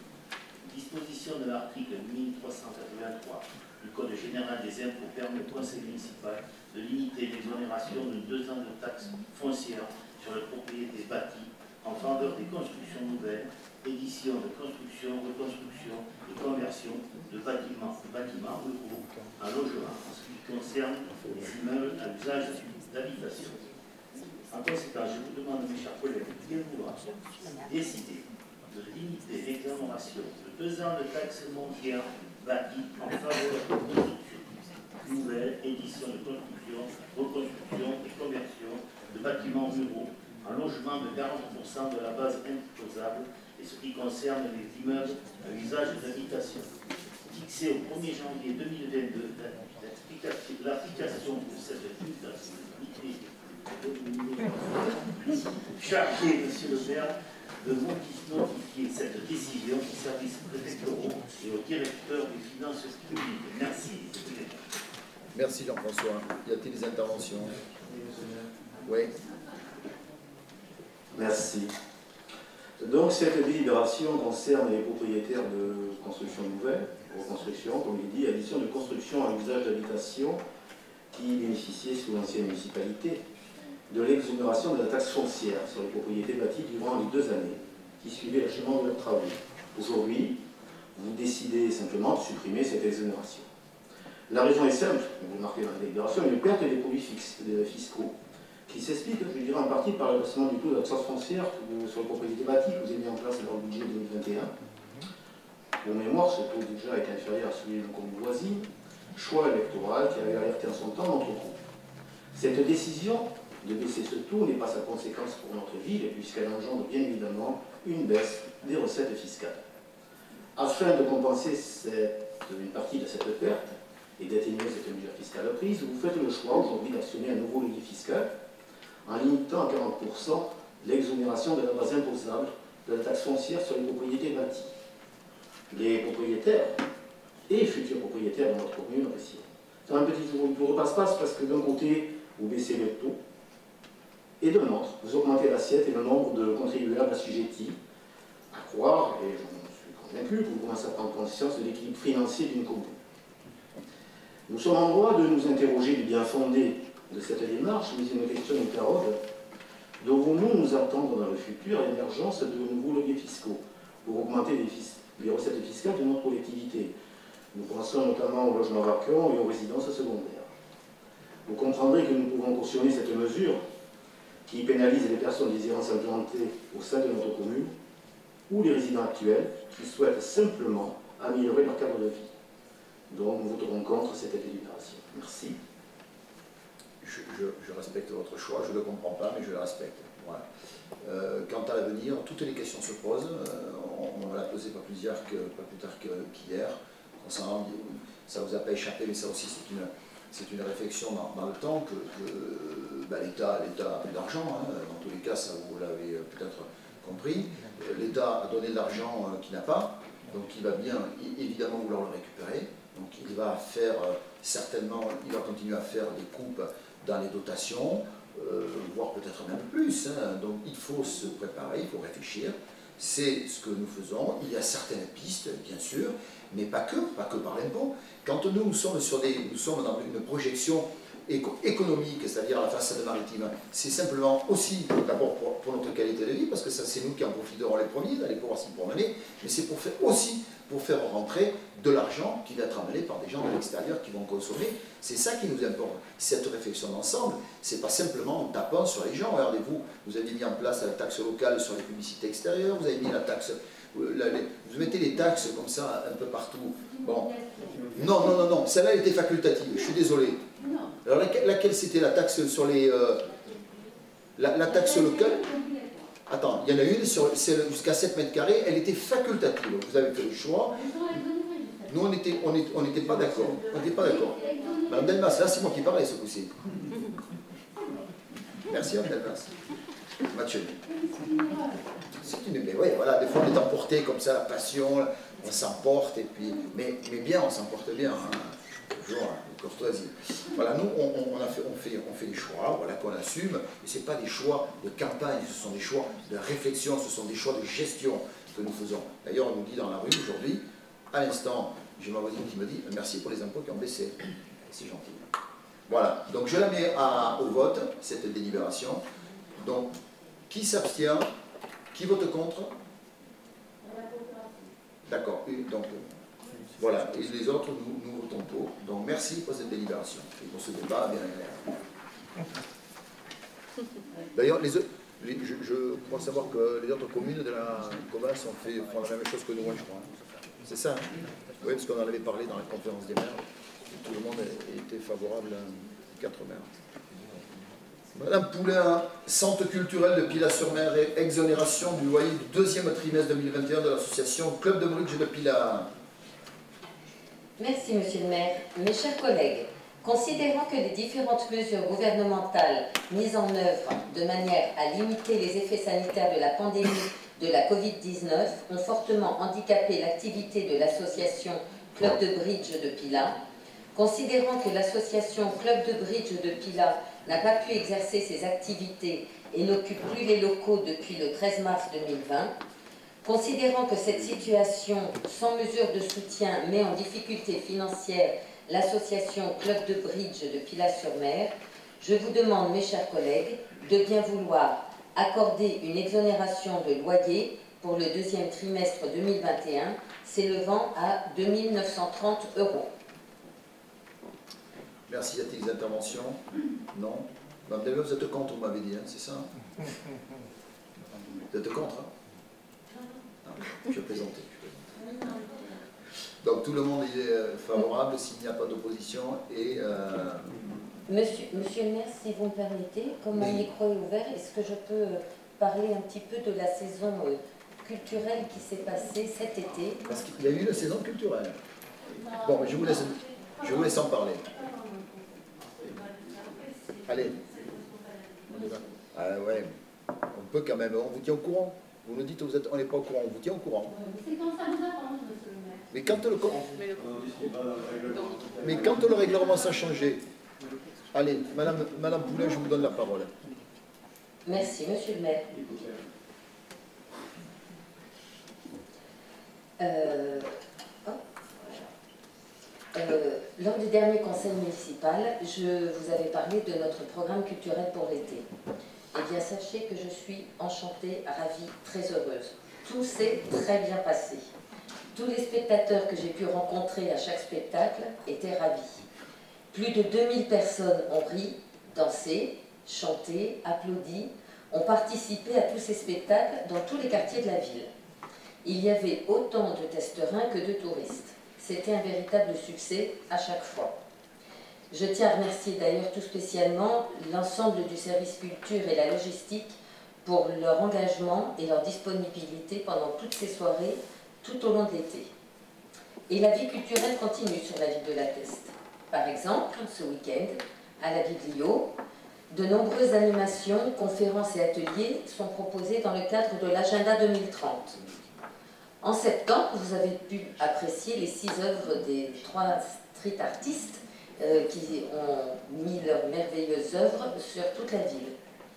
Et puis au mois d'octobre, il y aura le festival Mouvement d'art, des artistes professionnels qui accompagnent des artistes émergents dans quatre arts différents, la photo, la peinture, la danse et la musique.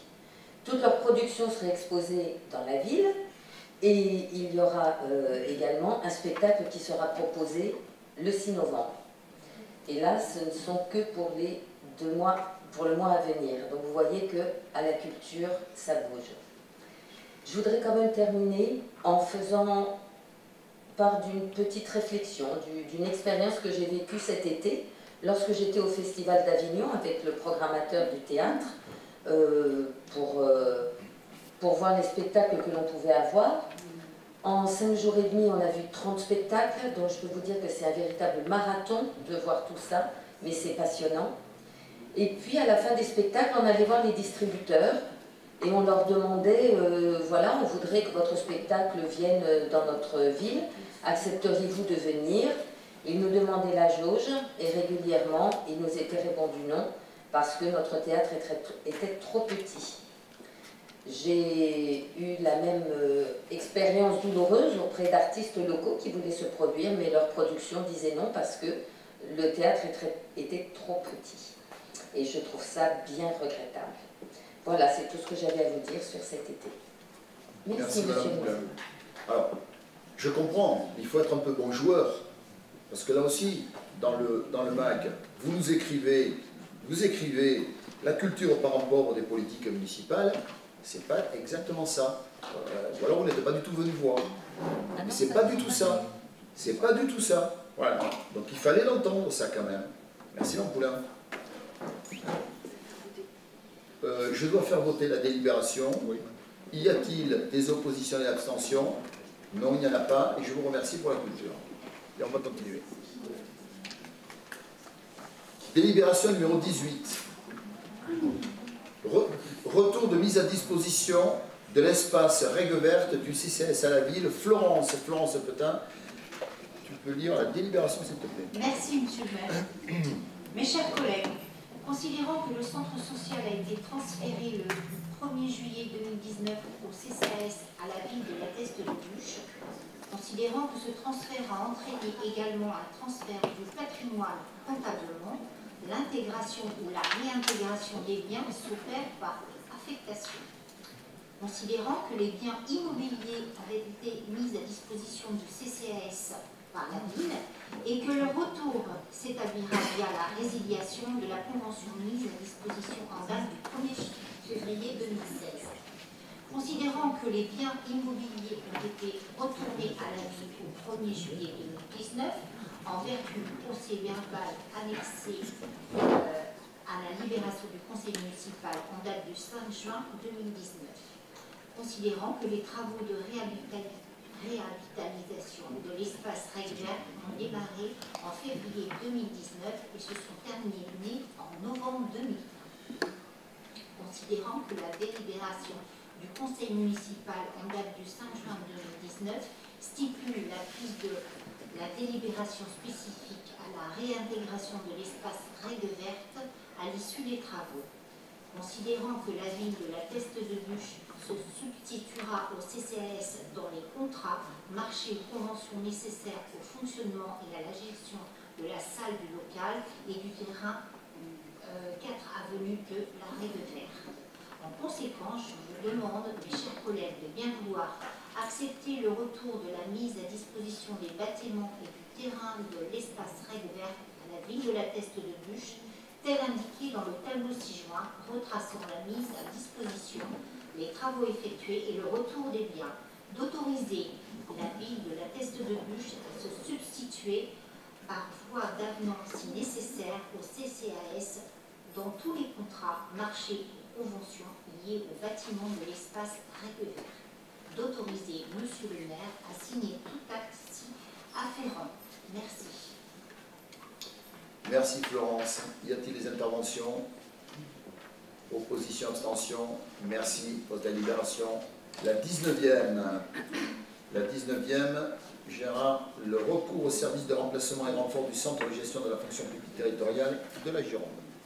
Merci, Monsieur le. Mes chers collègues, considérant le besoin de la collectivité de recourir à des remplacements d'agents en absence temporaire sur des métiers spécifiques à la fonction publique territoriale sur des durées limitées par des personnes spécialement formées aux missions dévolues, considérant l'urgence de pallier le remplacement de ces agents afin de maintenir la continuité des missions de service public, considérant la difficulté à recruter des agents avec une formation spécifique, état civil et urbanisme par exemple, sur des contrats de courte durée. En conséquence, je vous demande, mes chers collègues, de bien vouloir approuver le principe de pouvoir recourir en cas de besoin au service de remplacement des renforts proposés par le Centre de gestion de fonction publique territoriale de la Gironde, autoriser M. le maire à signer une convention de cadre d'adhésion si joint au service proposé par le Centre de gestion et engager toute démarche nécessaire d'intervention en tant que besoin d'un agent de remplacement et renfort dans les services de la commune.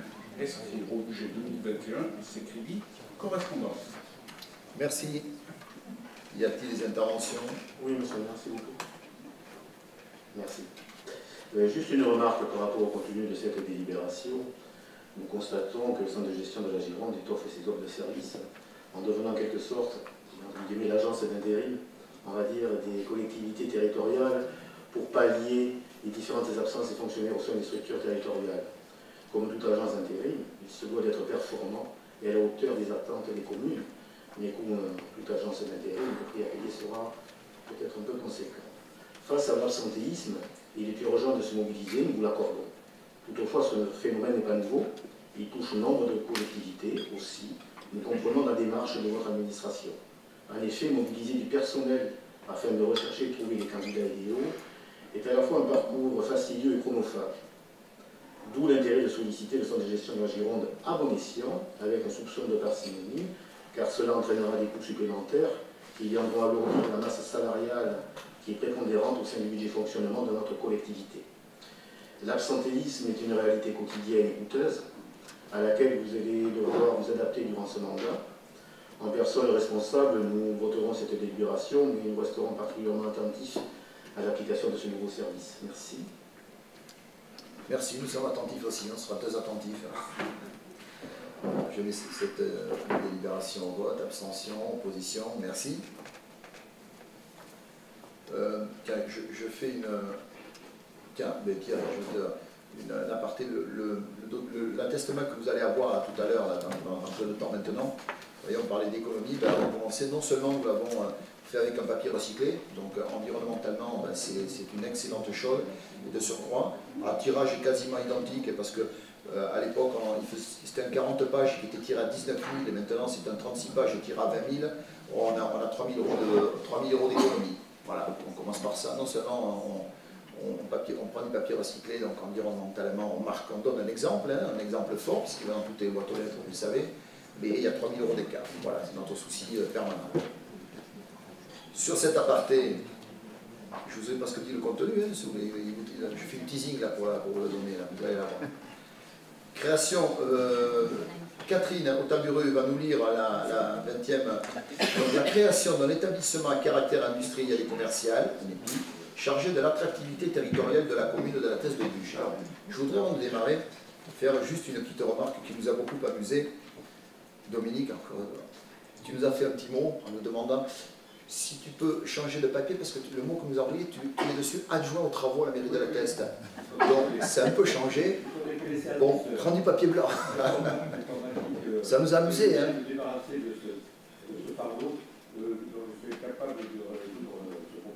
Bon, voilà. On, arrive. On s'est dit, c'est peut-être un signe, peut-être qu'il va devenir adjoint. Euh, redevenir adjoint, on ne sait jamais, c'est peut-être un signe. C'était marrant. Bon, voilà, Catherine. Merci, monsieur le maire. Avant de passer à la délibération, euh, je souhaitais vous faire un petit bilan de la saison 2021, euh, des animations et de du tourisme à la Teste.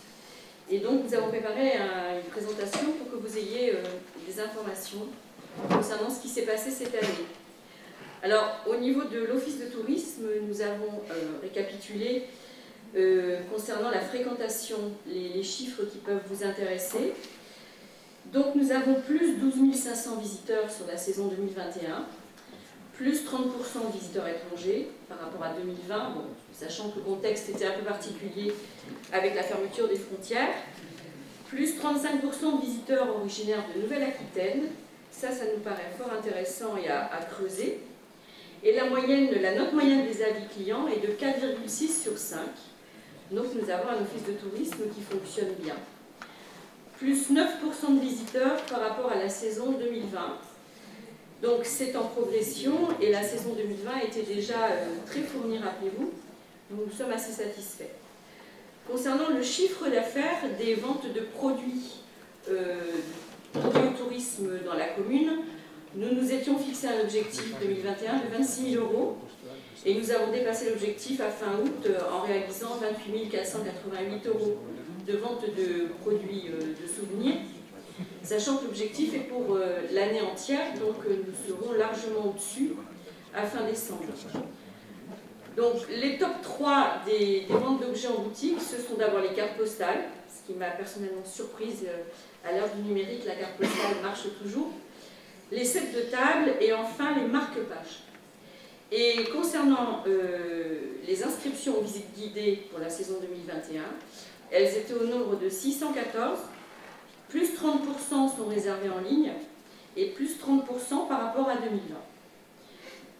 Concernant les billetteries, le top 3 de la billetterie à la test est l'UBA d'Arcachon en premier.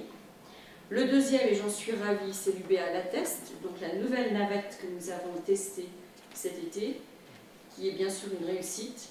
Et le troisième euh, de la billetterie est le zoo de la test. Et là aussi, euh, j'ai été étonnée, je pensais que c'était la coccinelle. Donc tant mieux pour nous, ça se passe à la test.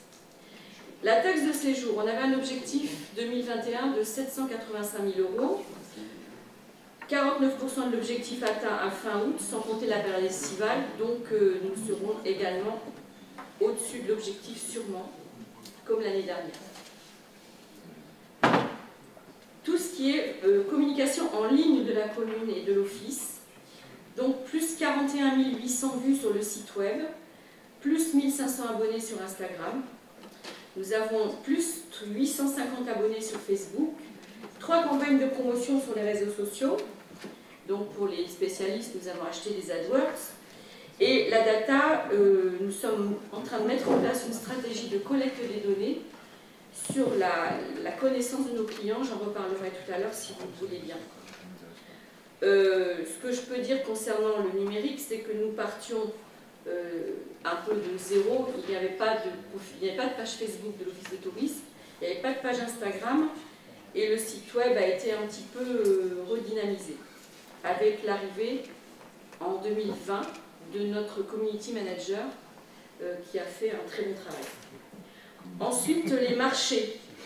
Alors, nous avons lancé le marché des producteurs au Pila pendant la saison d'été nous avons des chiffres concernant le mois d'août. Donc nous sommes partis de 18 exposants à 20 exposants la deuxième, euh, le deuxième vendredi. Et nous sommes redescendus un petit peu progressivement dans la saison.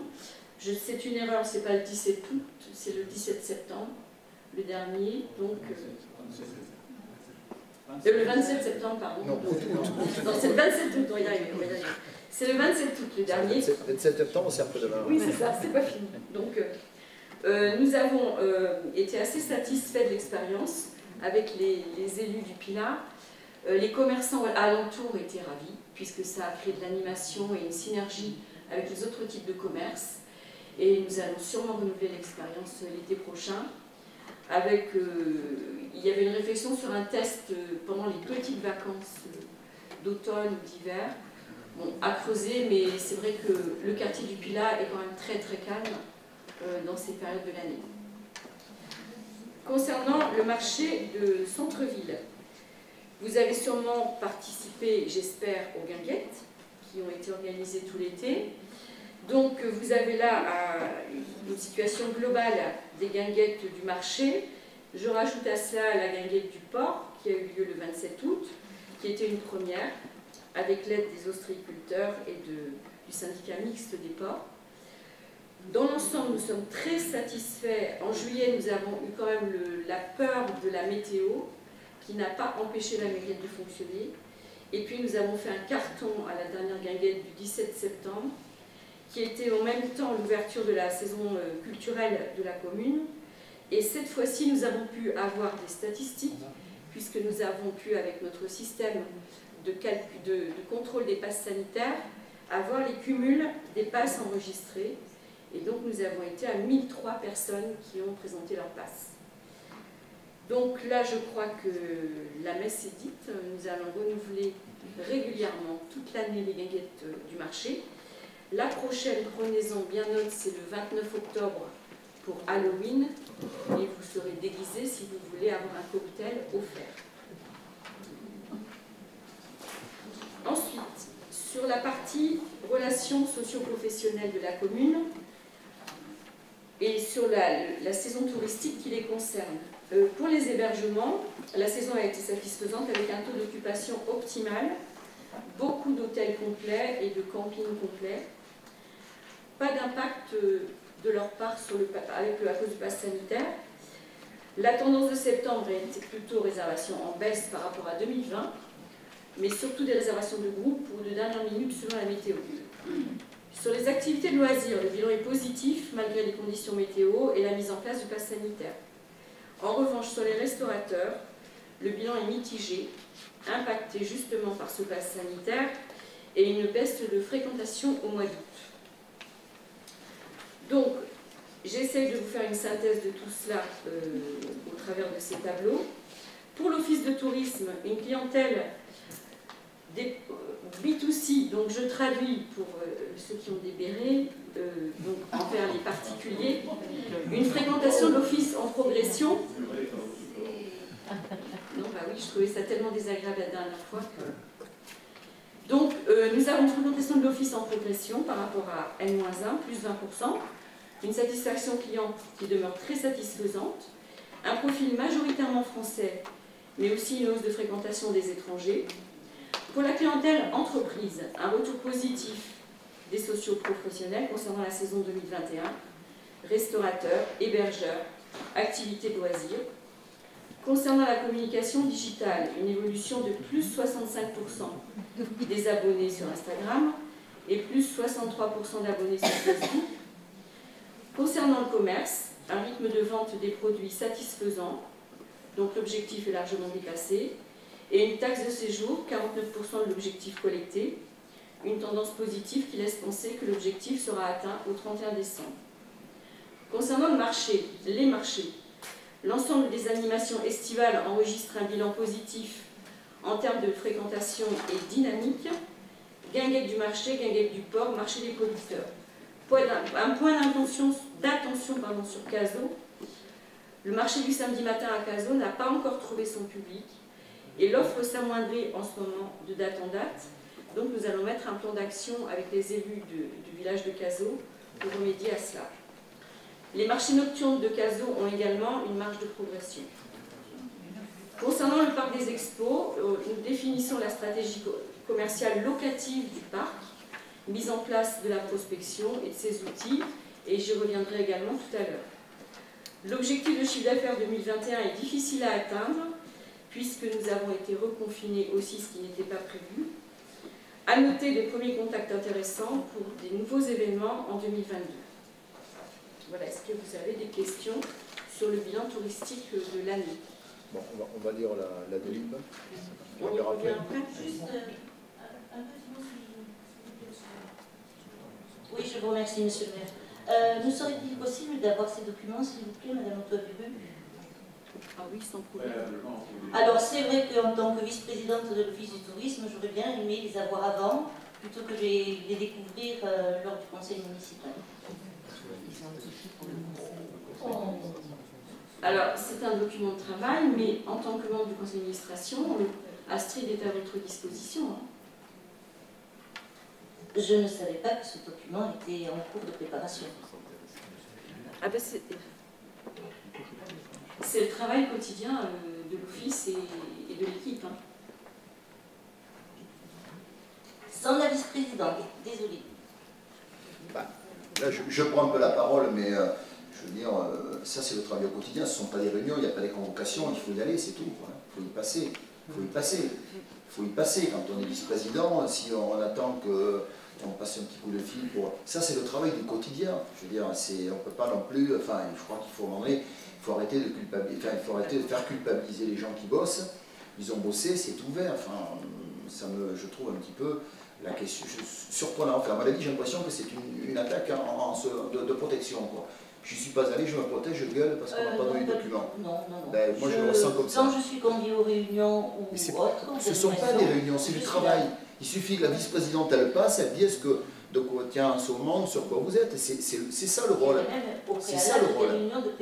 C'est comme tout adjoint qui est ici, on, il, quand je sais pas au service technique, Philippe Bellus il n'est pas là, il dit pas tiens euh, vous avez une réunion, je vais passer, il y est tous les jours, quoi, ou tous les deux jours. Je crois que c'est ça le travail. C'est pour ça que j'ai mis la vice-présidence, moi.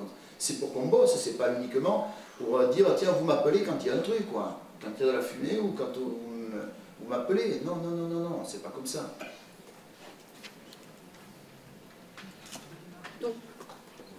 Nous passons à la délibération. Il a ah, pardon. Non, c'est bon. Pardon, pardon. Euh, euh, oui, non, quand même, c'est vrai que la vice-présidente aurait pu être, au moins avoir l'information préalable, mais peu importe. Euh, merci beaucoup, Madame Otalmeux, pour cette présentation très, très intéressante je voulais également, comme ma collègue Elisabeth, vous demander de nous faire parvenir ces, documents. Et puis, tout simplement, rajouter que ben, cette forte attractivité du territoire, hein, même si c'est un peu une année atypique, par euh, la, situation sanitaire, euh, cette attractivité du territoire euh, démontre que vos prédécesseurs ont su préserver ce beau territoire et tout en le développant. Voilà, bon, c'est vrai que ça a été très animé. Il y a eu les noctambules, non, pardon, les guinguettes, excusez-moi, j'avais l'ancien nom. Ah ben, bon, c'est vrai que ça a changé de nom de jour, mais c'est la même chose, c'est pas nouveau, vous, le reconnaissez, ça, existait depuis un moment. Hein. Mais en mieux, maintenant. L'hiver, ça s'appelait les, euh, les, mises en bûche, les mises en bûche, et l'été, ça s'appelait les notes en bûche. Voilà. Mais c'est, pourquoi pas les, les guinguettes, c'est vrai que comme le nom est nouveau, c'est nouveau. Voilà, bon, et merci pour cette présentation. Oui, une petite euh, remarque, tant pis, je vais m'amuser. Oui, il a su préserver l'environnement, il n'a pas su préserver son poste, donc il va y avoir quand même une anomalie quelque part. C'est long. Ça rajoute une petite couche, euh, du point de, de, de belles, de travaux, ça serait bien que ce soit annexé aux délibérations, qu'on en ait un peu comme Vous l'aurez. Vous l'aurez. Mais je, je... Au préalable, pas postérieur ici. Mais il fallait demander à votre vice-présidente, euh, vous l'aurez donné de volontiers. Et euh, euh, au-delà de ça, au-delà de ça, oui, je veux aussi remercier ceux qui nous ont permis de réaliser, hein, que ce soit les commerçants du marché, qui ont majoritairement joué le jeu et qui s'y sont retrouvés parce qu'ils ont, ils ont, ils ont bien travaillé. Euh, je veux aussi souligner, parce que ça vous ne l'avez pas dit, mais c'était la première fois que les ostréiculteurs retravaillaient avec nous. C'était la première fois. Hein. depuis des années, on a fait 12% d'ostréiculteurs depuis des années. C'est la première fois qu'ils sont venus, à part deux, dont un qui a dit l'année prochaine je vais réfléchir, euh, un qui a, je ne donnerai pas le nom, parce que tout à l'heure on ne donne pas le nom, mais un qui a, tenté de nous faire capoter l'affaire en, euh, en, menaçant de, mettre des coquilles d'huîtres, mais il faut qu'ils fasse attention quand même, il ne faut pas qu'ils menacent, parce que les testeurs vont-ils trouver ces huîtres aussi bonnes euh, Non, il faut quand même être prudent. On ne peut pas faire des trucs comme ça quand les gens veulent, euh, ont envie de s'amuser. Le est, il, est à, tout le monde, hein, y compris aux, contribuables. Donc il n'y en a pas un qui peut menacer tout le monde, c'est pas possible. Donc voilà, les ostréiculteurs ont joué le jeu, ils ont été ravis, on a pu, leur avoir une, une pour travailler jusqu'à minuit. Donc c'était un bon moment, euh, on a vraiment pris, du plaisir de se, pouvoir se retrouver de nouveau sur ce port. Donc on va travailler pour que ce soit, pour amplifier tout ça. Euh, et, puis même, vous savez, la raison précise pour laquelle on n'a pas pu faire la fête du port, c'est un problème de, bénévoles. 50% hein. des bénévoles euh, ne le voulaient pas, et je le comprends aisément, hein, ne voulaient pas venir dans cette période-là. Ça veut dire aussi qu'il faut se poser des questions sur le bénévolat, ça veut dire qu'il faut peut-être réfléchir par rapport aussi à la jeunesse, parce que on sait bien que bien souvent les bénévoles sont des gens retraités et parfois depuis, depuis, depuis longtemps. Il faut peut-être aussi impliquer, euh, euh, impliquer la jeunesse, il y a une réflexion à faire aussi là-dessus, on est en train d'y réfléchir au bénévolat. Voilà, donc on va revenir à la délibération parce qu'elle n'a pas été vue encore. Allez. Merci Monsieur le maire. Considérant qu'en tant que commune classée station de tourisme, la Teste de Bûche est un territoire touristique majeur du littoral atlantique, qu'en conséquence il a été jugé nécessaire de conduire une profonde réflexion quant au mode de gestion communale de l'attractivité économique et touristique locale, afin de créer une structure chargée de l'attractivité du territoire communal. Considérant que l'efficacité de la gestion de cette attractivité repose dans la création touristique de la commune, la municipalité souhaite dès lors créer un nouvel établissement public regroupant l'Office de tourisme et ses missions connexes, définies en objet des statuts du nouvel EPIC, l'Office du commerce et de l'artisanat, l'organisation et le développement des marchés permanents ou saisonniers sur l'ensemble du territoire communal, la gestion des foires, congrès et événements en matière de tourisme d'affaires ainsi que l'exploitation du parc des expositions. Considérant la difficulté juridique d'une gestion commune du marché et des autres services, le statut d'établissement public chargé d'une mission de service public industriel et commercial, EPIC, est apparu comme l'unique moyen de parvenir à créer la synergie attendue. En, conséquence, je vous demande, mes chers collègues, de bien vouloir créer un établissement public industriel et commercial, EPIC, sous la dénomination Office de tourisme, du commerce et de l'artisanat de la Teste de Bûche, à compter du 1er janvier 2022. Il en découle un transfert des contrats de travail des personnels soumis au droit privé, avec un avenant pour chacun d'eux actant le transfert d'employeur. Approuver les statuts de l'EPIC tels qu'ils sont annexés à la présente délibération, décider de la, dissolution du parc des expositions et de son budget annexe, charger Monsieur le maire de définir la convention pluriannuelle d'objectifs et de moyens du nouvel EPIC, désigner Madame Astrid Zanzabelbert, directrice du nouvel établissement, fixer la composition du conseil d'administration de l'EPIC de la manière suivante. Le conseil d'administration de la régie est composé de 17 membres à voix délibérative.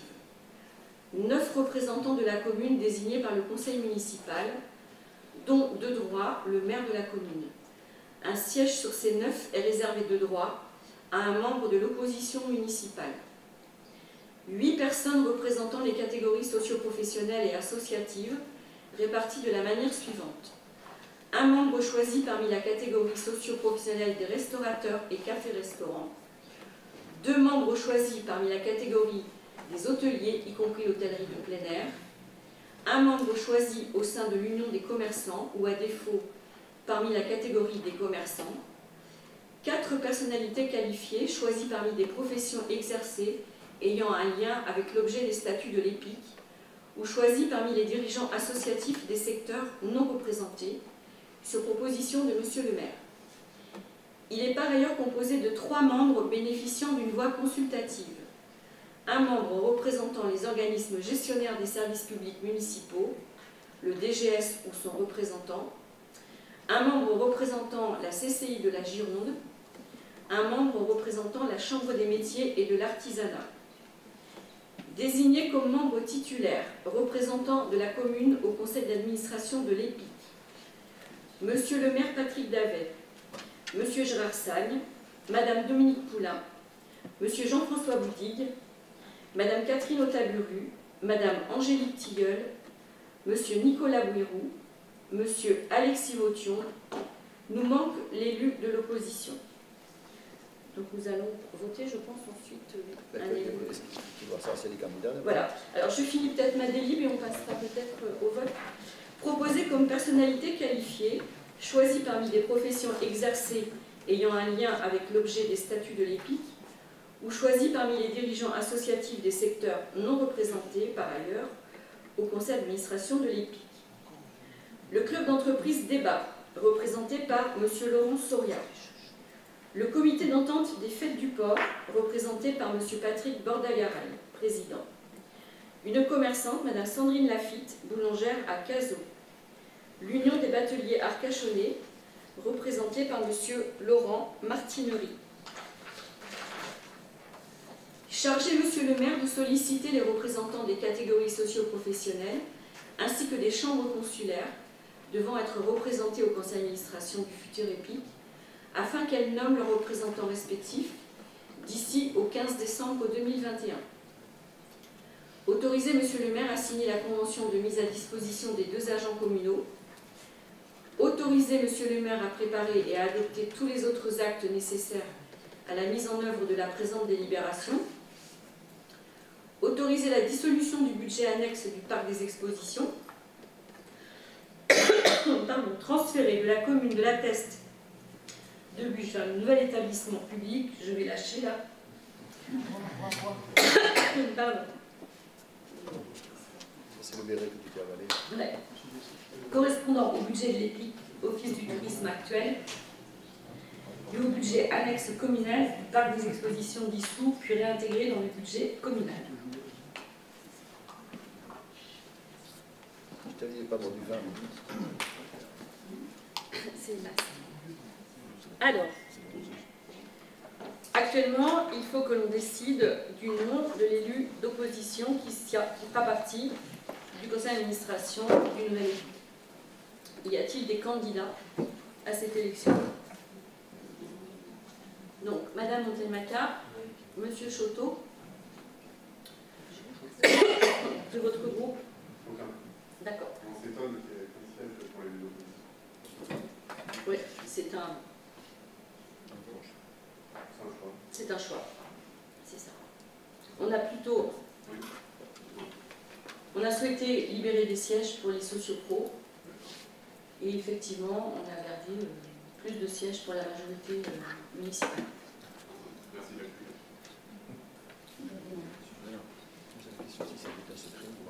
Madame Ou à main levée Oui, allez-y, monsieur Choteau, pardon. Alexandre aussi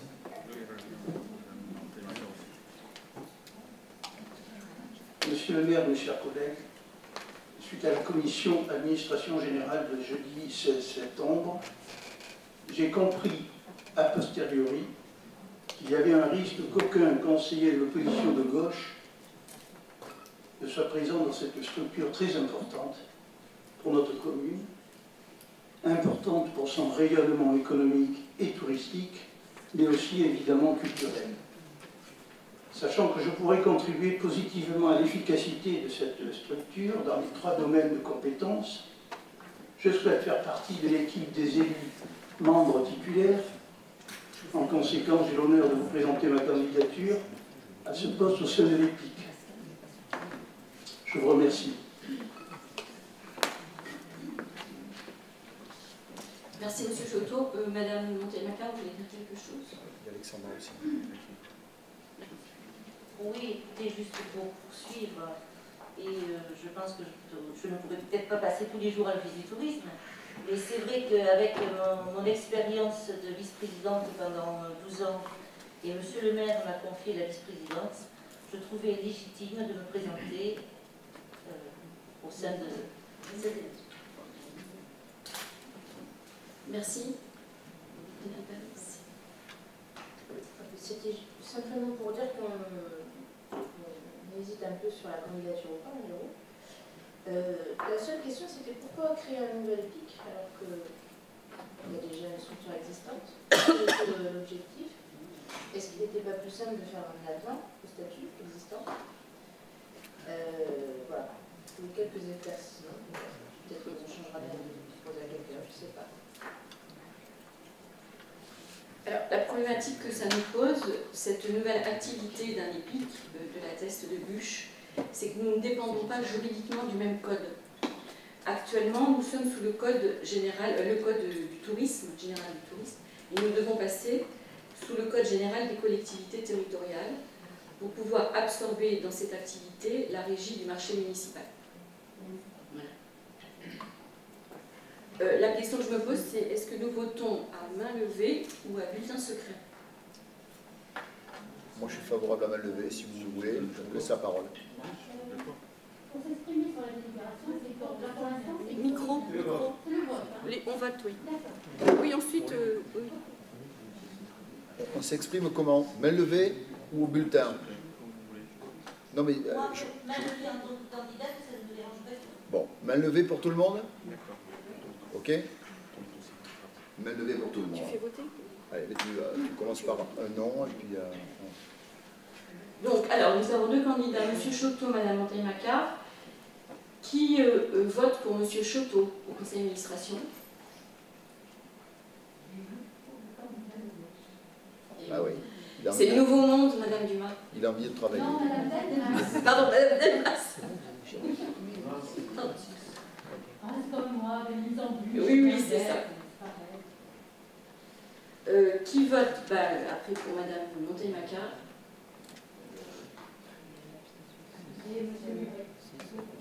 Oui, et qui s'abstient?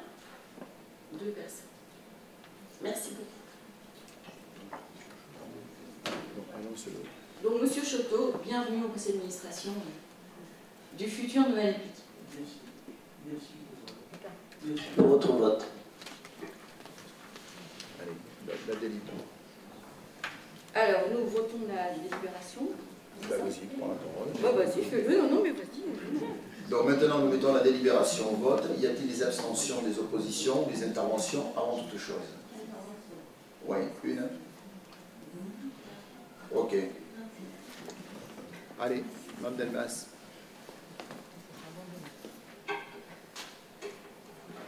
Merci, monsieur le maire.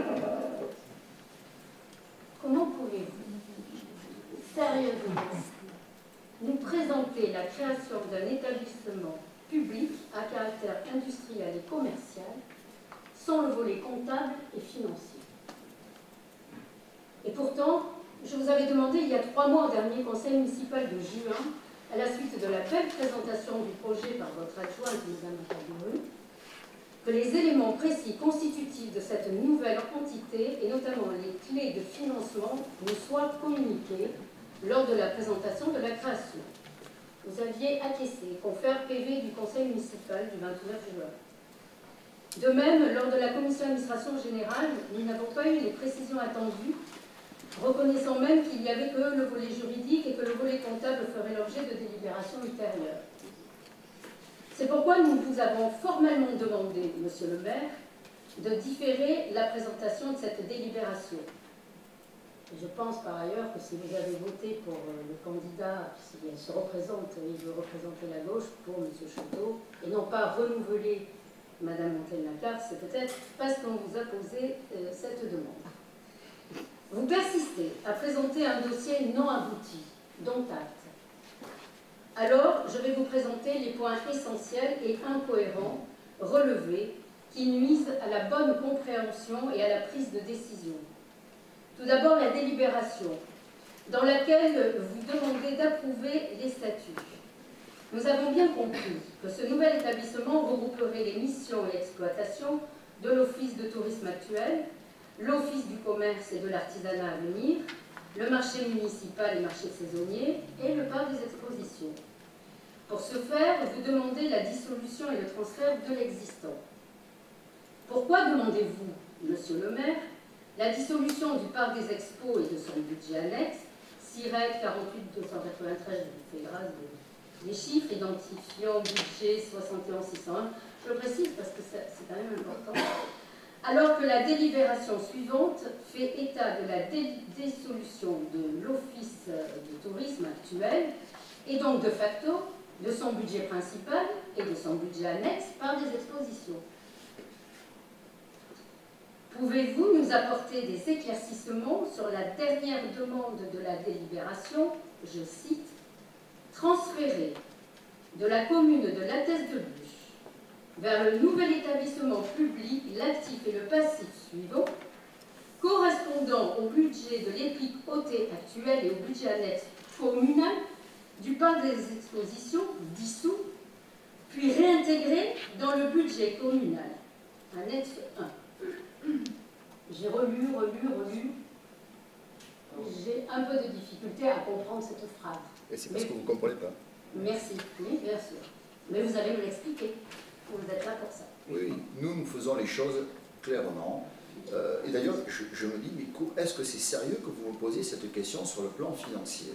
Sincèrement, il y a encore 14 mois, c'est vous qui gériez tout ça. Les chiffres, vous les connaissez. Vous aviez une, vice-présidente qui était à l'intérieur, vous les avez. Donc, nous faisons les choses très simplement.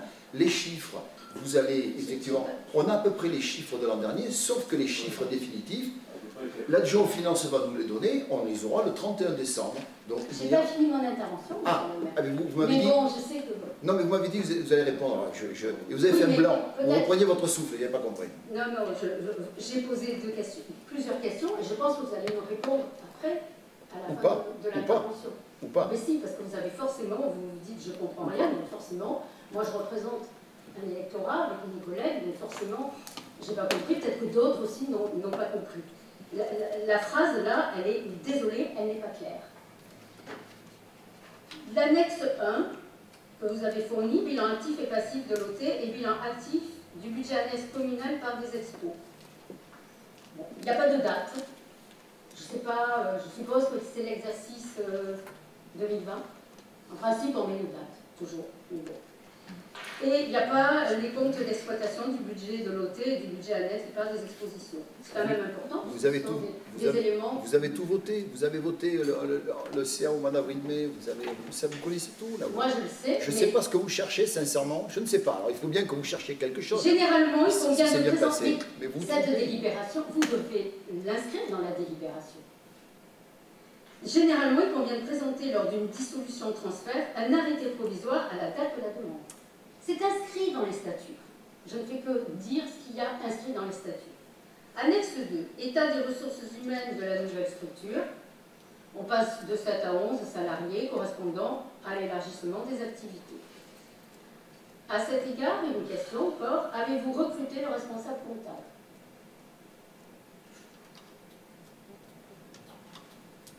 On répond maintenant ou non, on attend, on attend. Je reprends ma respiration.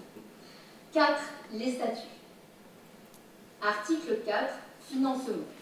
Il sera défini par une convention pluriannuelle d'objectifs et de moyens, CPOM, signée par la commune.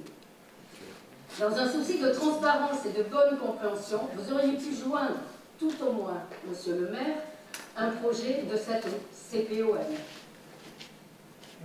Article 8, organisation générale. La régie étant en charge de fixer les redevances des services publics dont elle a la charge, pouvez-vous nous préciser ces éléments pour l'activité marché municipal et par des expositions Commission thématique, commission marché. Je cite, de par le transfert de l'activité de la commune vers les pics, sa composition sera identique. Il convient, là encore, dans les statuts, de décliner la composition et non de se contenter d'écrire à l'identique. Direction.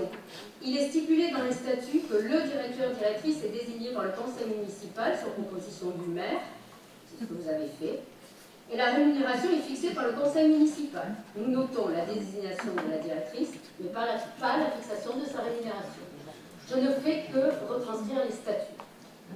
Nous arrivons au régime financier et comptable, titre 3. La, la régie pardon, sera dotée d'un budget principal, Office des tourisme, et de deux budgets annexes. Le marché municipal et l'OCA, qui sont des services publics administratifs, et le budget annexe du parc des expositions, qui sont un service public industriel et commercial. Ça, c'est pour la clarté, ça. Ça, c'est pour la clarté, oui. Et c'est pour ça que vous avez opté pour ce, ce, ce régime juridique. Ouais. On note l'absence des éléments relatifs à la dotation initiale de la régie, ainsi que ses modalités de remboursement. Cela n'a pas été complété dans les statuts. Donc c'est prévu dans les statuts, vous ne l'avez pas complété. Bon.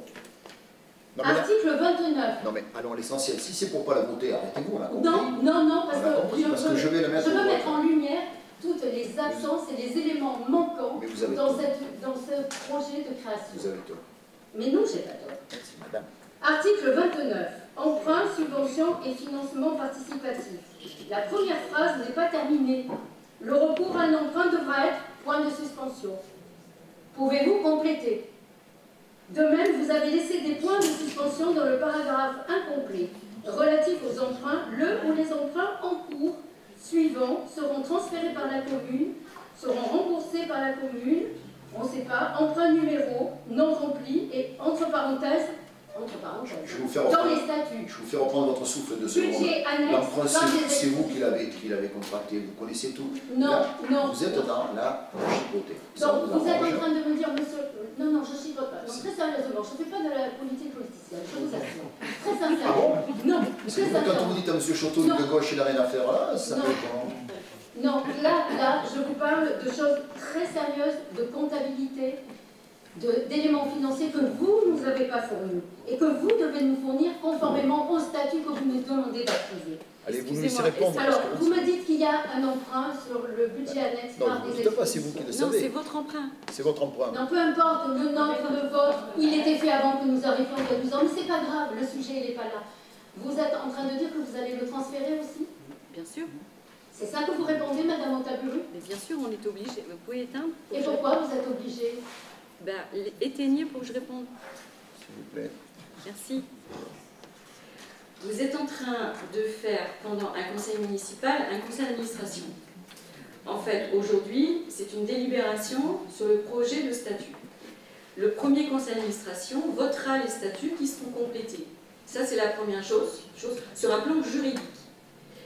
Ce que vous me demandez là, sur l'emprunt qui a été fait à l'époque par la SEM, c'est vous qui l'avez fait et vous le connaissez. Vous savez très bien comptablement qu'on est obligé de reprendre en gestion l'amortissement qui reste à, faire.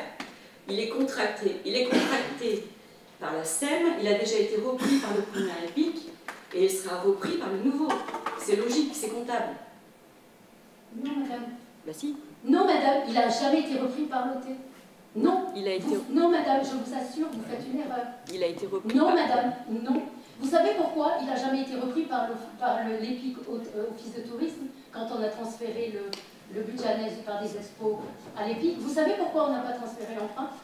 Pour, que la commune garde la propriété du parc des expos. Et vous ne pouvez pas transférer l'emprunt sans transférer les biens. Je peux répondre oui, il s'est resté au sein, là où vous ne comprenez pas, excusez-moi, je termine, là où je pense que vous avez fait une confusion. Il y a le budget principal de la commune de la Teste et trois budgets annexes, dont le budget annexe du parc des expositions. D'accord Il y a l'EPIC Office de tourisme avec son budget principal et le budget annexe du parc des expositions. Et je pense qu'il y a une confusion entre le budget annexe du parc des expositions. Parce que vous parlez de budget communal, mais le budget communal, ce n'est pas ce numéro de SIRET. Je vous assure. Et quand vous me dites qu'on avait transféré l'emprunt à l'EPIC, c'est faux. Vous faites une erreur, Madame non, non, non, mais non, mais non. Mais si. Allez, laissez-nous. Non, non, non, Jean-François. Et l'emprunt, il était fait avant que nous arrivions. Mais ce n'est pas grave, ce n'est pas le sujet. Il reste 190 000 euros et 4 ans. Mais il est au sein de la, du budget de la vie de l'emprunt. Parce que la propriété du parc des expos est toujours au sein ça du change budget quoi de la ville. Ça change quoi vous dites, vous dites, vous dites des... Ça change quoi mais vous faites Fondamentalement. Des vous dites des choses fausses. Bah, vous me dites non. que l'emprunt est aussi... Mais non. mais en Mais termes vous savez de... pas ce que vous transférez, Mais c'est si. grave. Mais si, on- C'est grave. Qui va vous répondre Mais non. J'ai pas fini. Mais si, si, si, si, si. Je n'ai pas fini. Si, moi je dis oui. Moi je dis oui. Vous pouvez pas, non, vous pouvez pas Non, m'empêcher mais il de faut arrêter. ma délibération. Mais attends, il y a une réponse là, tant qu'il y a une. Y a Mais une... vous, je continuerai quand même. 30 secondes. Vous pouvez pas limiter alors qu'on a écouté... des Alors, je vous propose, excusez-moi, je vous Attends. propose... Sur le point de l'emprunt. Oui. Madame Delmas, effectivement, effectivement, Effectivement, le- la commune re- refacture à l'EPIC les, lo- les- les montants des, des loyers de, de l'emprunt. Et l'emprunt reste à la commune. Nous ne faisons que boîte aux lettres. Je vous le confirme, ça. Merci. Et ça change quoi Mais ça ne change rien. hein. Non C'est- Non, mais, mais- non, mais c'est pour éviter... Oui, Non, mais mais Madame bon. Delmas, en termes de flux Là- financiers, ça change rien. Mais, mais il faut pas... Bon, vous écrivez... Non, mais bon. faites- Non, bon, alors, bon, je continue, non mais bon, euh, vous avez vraiment pas vraiment beaucoup travaillé ce dossier. La preuve. Ben non, ben non. Heureusement que la finance quand même, depuis a pu se pencher et voir que l'emprunt il était toujours au sein de la commune. Et c'est très important, parce que ça veut dire que la commune garde la propriété du bien. Et alors, vous pensez qu'on allait faire quoi Le donner aux voisins? Non, mais je préfère qu'il soit la propriété de la commune de la Teste plutôt que d'être transféré au sein de l'EPIC. Mais c'est pas possible. Mais c'est pas possible. Bah si, vous Mais pouvez non. toujours transférer le bien et l'emprunt. Mais vous venez de me dire C'est que pas notre choix. Vous venez de me dire que vous vouliez que le- l'emprunt était transféré. C'est pas notre Mais choix. pas, mais c'est en flux financier. C'est pas notre choix. oui, le but c'est que le Mais les flux, ils suivent les biens. Non mais là, là, tout le monde est perdu là. hein. Les Allez, flux, ils suivent les biens. allez. Donc. Là, on ne sait plus où vous en êtes. là. Ensuite, bon, donc j'en étais au point de suspension qui n'ont pas été remplis.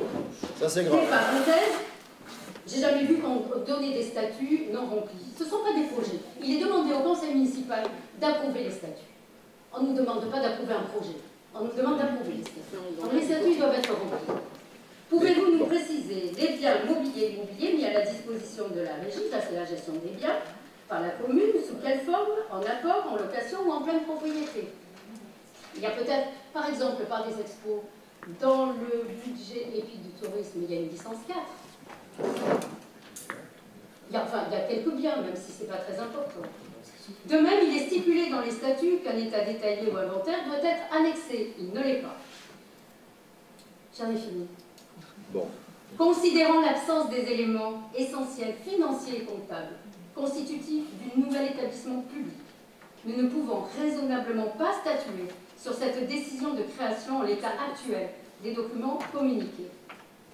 Non, mais Enfin, un dernier constat, Monsieur le maire. Ce dossier non abouti nous démontre toute la difficulté que vous avez à passer du conceptuel à l'opérationnel. Et que vous êtes bien meilleur dans la critique, comme on a pu le voir ce matin encore dans la presse, que dans l'action. Ah, vous lisez la presse, on sait bien. Bien sûr. Écoutez, on, a- on avance et ce que vous nous avez euh, sorti là, sincèrement, c'est sans intérêt. Parce que ce que là, sans intérêt. Donc, dans tous les cas, on va le mettre au vote. On va le, On crée un établissement, c'est on pas va comment le- il va fonctionner. on va le mettre au vote. On va le mettre au vote. Si vous ne voulez pas voter, votez pas. Moi, je reviendrai quand même sur la réflexion. Donc, je salue M. Choteau qui est venu. M. Choteau est un testerin comme les autres. Il a des idées qui sont certes pas les mêmes que les miennes, mais c'est quelqu'un qui veut s'impliquer, travailler. Donc voilà, j'ai souhaité qu'il s'implique, puisqu'il a l'envie, j'ai souhaité qu'il s'implique.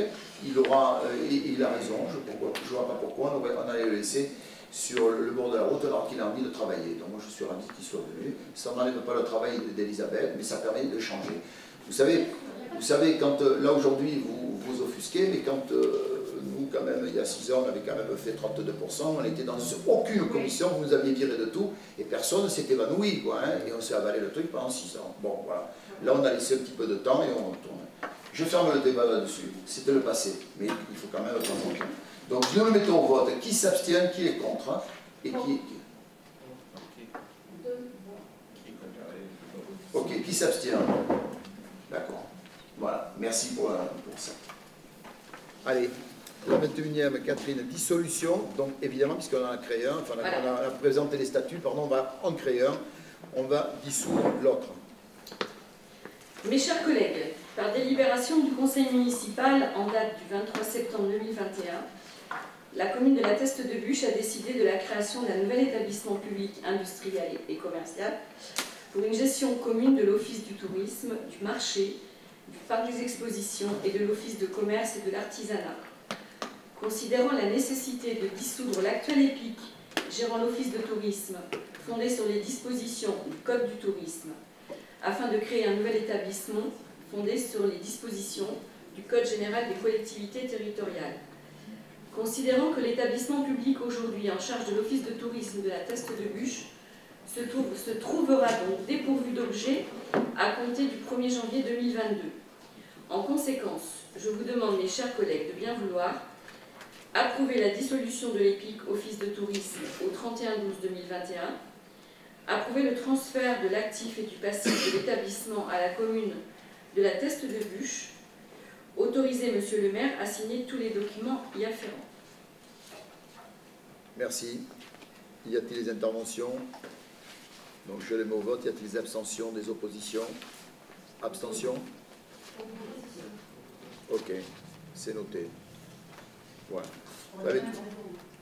Juste une, petite remarque, vous parliez de, euh, de sérieux. C'est vrai que quand on voit tous les dossiers où- sur lesquels on y revient, les bâtiments et les financements que vous avez fait derrière, c'est vrai que c'est vrai que c'est il y a du sérieux. On est en, on est en quasi euh, précontention à pas tarder hein, sur l'hôtel de ville, sur, sur Cravé et sur bien d'autres. C'est vrai que là, là c'était vraiment, vraiment tenu de façon très sérieuse. Ça, il n'y a, pas- à en douter. C'est pour ça que c'est surprenant dossier comme ça aussi. Mais il n'a rien de surprenant. Il tient la route. Il tient la route. Super. euh, Dernière délibération. Il tient la route. C'est vous, c'est vous, c'est vous qui, qui voulez pinailler. Il faut bien qu'on vous trouviez quelque chose. Il fait non, exister. non. Donc il tient la route. Non, elle est finie cette délibération. Elle est finie. Ça, Elle est finie. C'est pas du détail. Elle est finie, Madame Delmas. Madame Delmas, elle est finie, s'il vous plaît. Ne me faites pas quelqu'un qui n'est pas là aujourd'hui. Euh, BP de 20 2021, décision modificative numéro 1. Jean-François Boudy. Merci, monsieur le maire. Mes chers collègues, considérant la demande formulée par madame la trésorière d'Arcachon le 30 août 2021, considérant que ces budgets sont votés au niveau du chapitre pour les sections d'investissement et de fonctionnement, sans chapitre opération d'équipement et sans vote formel pour chacun des chapitres, considérant que la direction modificative numéro 1 du budget principal pour l'exercice 2021 s'équilibre en section d'investissement et de fonctionnement en dépenses en recettes de la façon suivante. Je, vais me permettre de vous commenter les lignes du tableau. Nous allons commencer par euh, la section d'investissement, par les recettes. Au chapitre 24, produit de cession d'immobilisation, 4 000 euros qui concerne la vente la moto, d'une moto de la police municipale. Chapitre 10, euh, dotation, fonds divers, réserve, dons et legs en capital, 70 000 euros. Don du club de tennis pour la réalisation de deux cours à Caso, c'est la délite que vous avez passée qu'a présenté Fabien. Chapitre 13, subvention d'investissement, État et établissements nationaux, moins 96 150, subvention d'État, actualisation de la stratégie locale. Je reviendrai tout à l'heure sur les, stratégies locales. Euh, chapitre 13 encore, subvention d'investissement région, moins 293 817 euros, toujours actualisation de la, stratégie locale concernant la subvention de la région. Chapitre 13, subvention d'investissement, budget communautaire et fonds structurels, structurels moins 178 380 euros. C'est une subvention de l'Europe, donc actualisation de cette stratégie. Euh, excusez-moi, excusez-moi. Moins 1 178 380 euros. Et après, vous trouvez dans les deux dernières lignes, vous trouvez les opérations chapitre 45, les opérations pour le compte de tiers, 25 000 euros, qui sont des travaux effectués d'office pour faire suite à l'arrêté de péril 27 du port. Et la même chose euh, de 30 000 euros pour les travaux effectués d'office pour faire suite à l'arrêté de péril 14 rue d'Eslier. Vous allez retrouver les, mêmes, les deux mêmes lignes juste avant, mais qui, qui vont considérer les dépenses, puisque ce sont des, des mouvements, on enregistre la dépense et on refacture au tiers. Donc nous allons passer aux dépenses. Euh, dépenses, euh, chapitre 10.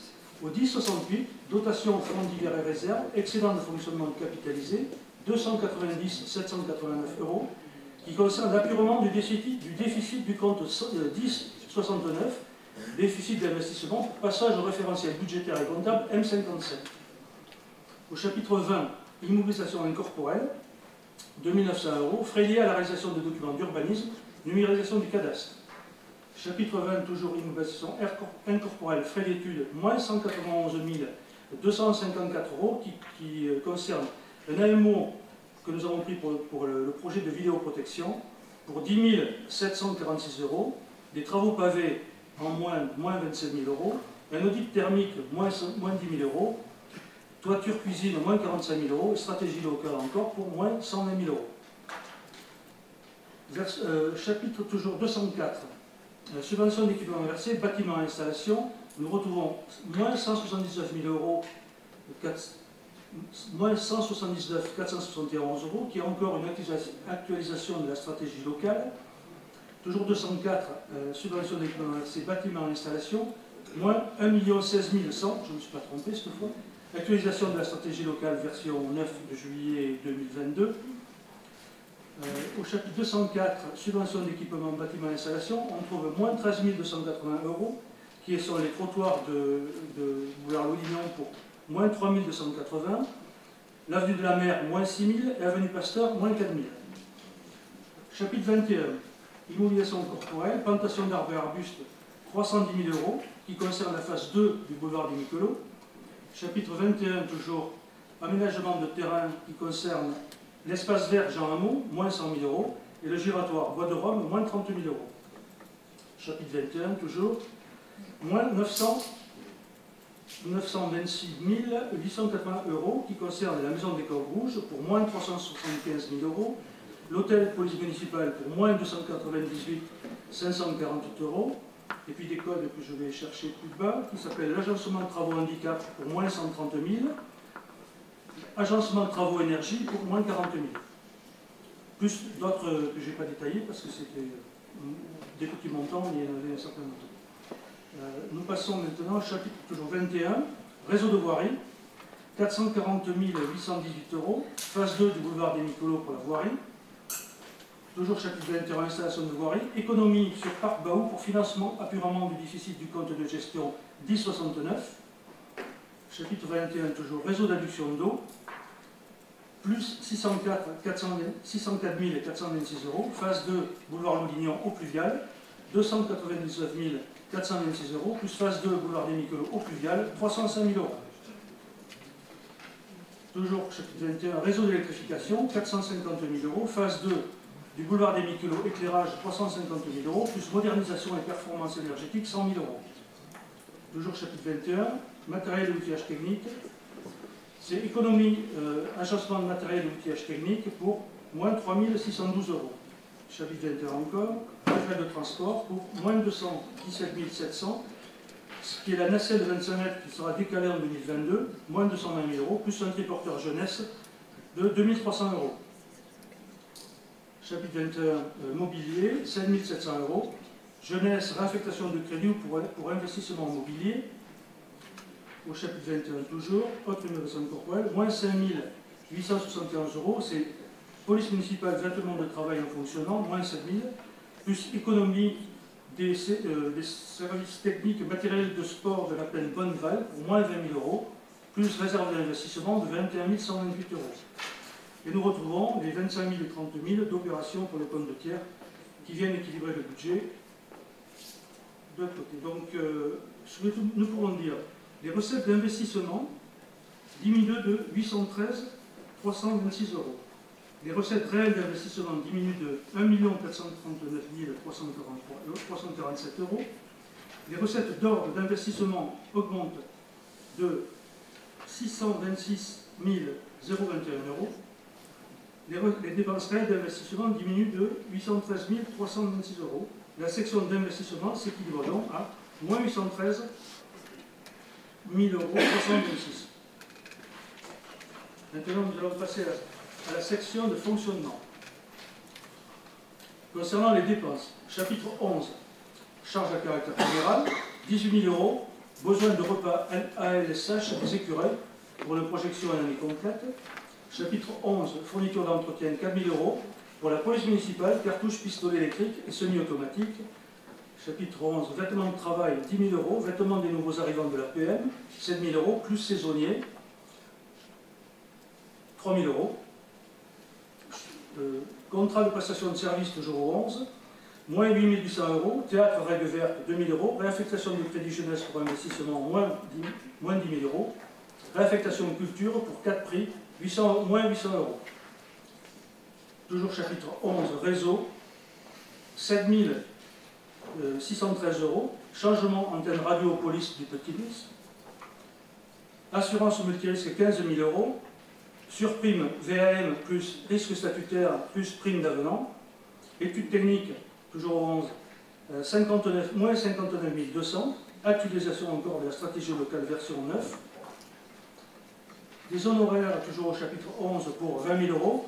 Et un cabinet extérieur sur la problématique complexe d'urbanisme. Toujours chapitre 11, frais de, télécommunication, 15 300, téléphonie mobile plus interconnexion, réseau VPN.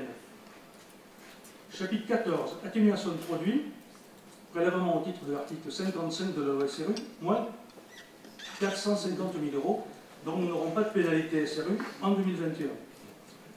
Au chapitre 14, encore fonds de péréquation des ressources intercommunales et communales, moins 50 055 euros, ajustement du montant déficit du FPIC, à 540 289 euros.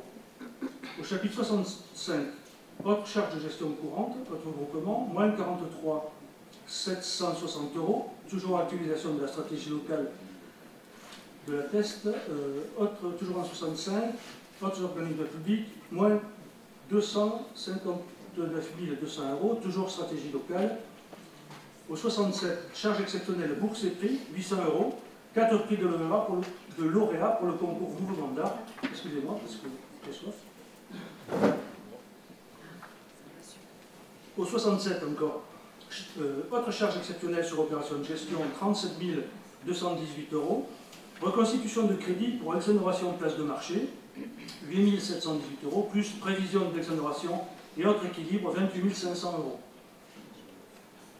Au 67, toujours, euh, charge exceptionnelle, Titre annulé sur l'exercice antérieur, 15 000 euros. Reconstitution de crédit pour exonération de place de marché, 15 000 euros. Euh, bon, c'est tout pour les dépenses. Nous allons passer aux recettes de, fonctionnement. Au 73, impôt, taxe, autre impôt ou assimilé, plus 174 658 euros, régularisation des rôles supplémentaires de fiscalité. Au 74, dotation, subvention et participation, moins 61 240 euros, qui a encore une la, de la stratégie locale. Euh, au 74, toujours dotation de subvention région, moins 101 300, qui est l'actualisation stratégie locale, encore version 9 de juillet 2022. Euh, dotation, subvention et participation, budget communautaire et fonds structurels, moins 271 100, qui est toujours une actualisation de la stratégie locale. État, compensation, exonération, 4 foncières au 74, toujours 154 919. Réajustement d'exonération, foncier bâti et foncier non bâti, nom État 1259 du 0306 2021. Et au 77, chapitre 77, autres produits exceptionnels sur opération de gestion, 2000 euros, projet théâtre, maison de quartier Dunkerque, plus financement par Gironde Habitat. Donc euh, les recettes réelles de fonctionnement diminuent de 102 063 euros. Les dépenses réelles de fonctionnement diminuent de 728 084 euros. Les dépenses d'ordre de fonctionnement augmentent de 626 021 euros, puisque les opérations d'ordre vont se retrouver en investissement pour compenser. La section de fonctionnement s'équilibre à moins 102 063 euros. Euh, si vous voulez bien, avant de passer à la suite, je vais vous donner des, vous avez noté des évolutions euh, importantes au sujet de ce que j'ai nommé euh, l'actualisation de la stratégie locale version 9. En recette d'investissement, un total réajustement de la stratégie locale de moins 1 568 347 euros. En dépenses d'investissement, un total réajustement de la stratégie locale de moins 1 315 571 euros. En dépenses de fonctionnement, total réajustement de la stratégie locale, moins 303 116 euros. La mise en place des stratégies locales de la gestion de la bande côtière, puisque c'est comme ça qu'on appelle, sur l'ensemble du littoral est une entreprise récente pour laquelle nous n'avons que très peu de recul.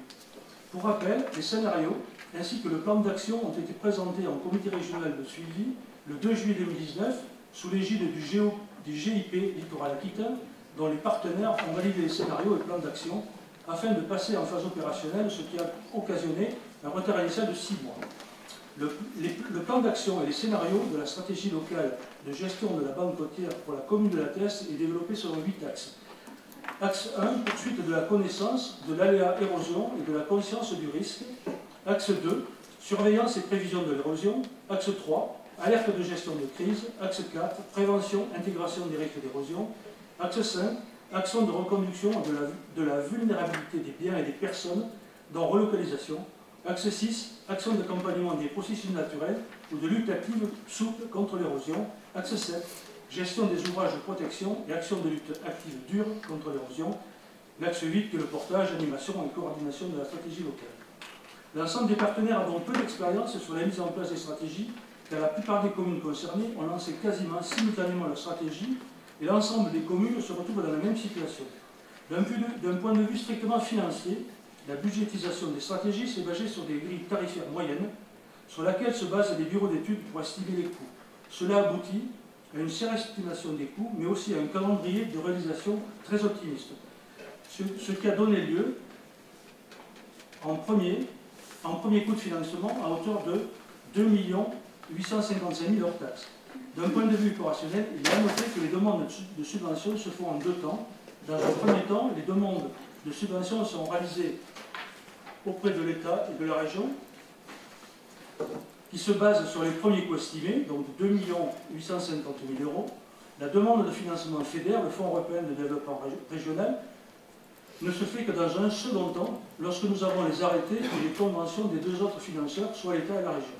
Le dossier de financement CEDER, FEDER nécessite à lui seul un an de montage, les actions sont donc décalées dans le temps et la faisabilité et coût réévalués au plus juste. Il est important de noter que les services de l'État n'autorisent le commencement des opérations que lorsque l'arrêté de financement et les conventions ont été édités. Tout cela a occasionné un retard important pour le commencement et la mise en œuvre du plan d'action. D'autre part, le rajustement des coûts peut s'expliquer pour plusieurs raisons. Certaines actions ont été réalisées en interne ou vont être réalisées en interne. La conséquence est la suppression du coût associé et une baisse mécanique du, financement. Exemple, l'action 1 qui est l'action 1, 1.1, évaluation des besoins en information, archivage et capitalisation. Action 1.1.2, réalisation de l'état d'avancement de la connaissance de l'aléa et de la dynamique des passes, 20 000 euros hors taxe. Action 6.4.1, maintien de l'opérationnalité de l'exutoire du WARF, réalisé en interne par le CIBA pour 120 000 euros sur 3 ans. D'autres actions ont fait l'objet de passations de marché, notamment par le, le CIBA, qui ont révélé un coût moins, moins important que le coût initialement prévu. Exemple, l'action 6.1.3, suivi accompagnement des processus naturels, 60 000 euros hors taxe au lieu de 254 000 euros. Ces coûts ont été nouvellement estimés au regard de l'action menée sur la stratégie de l'Ège Cap Ferret.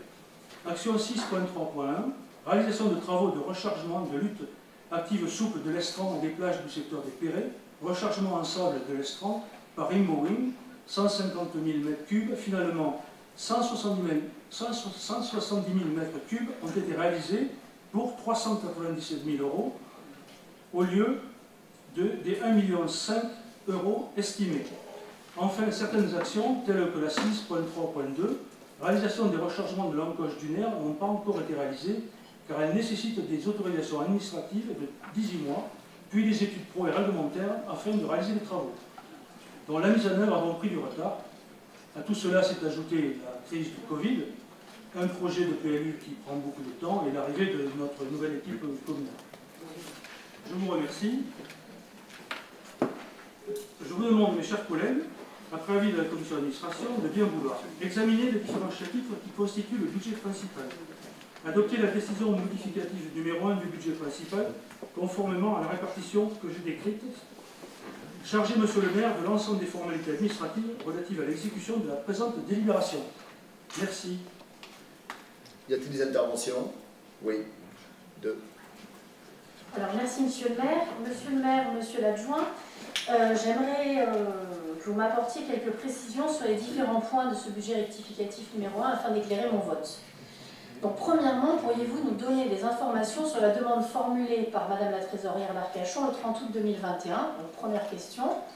Seconde question, donc on peut voir en chapitre 13 euh, le montant donc, des subventions, euh, notamment donc, euh, européennes, avec un cofinancement État-région pour un montant total donc, de 1 568 000 et des poussières euros.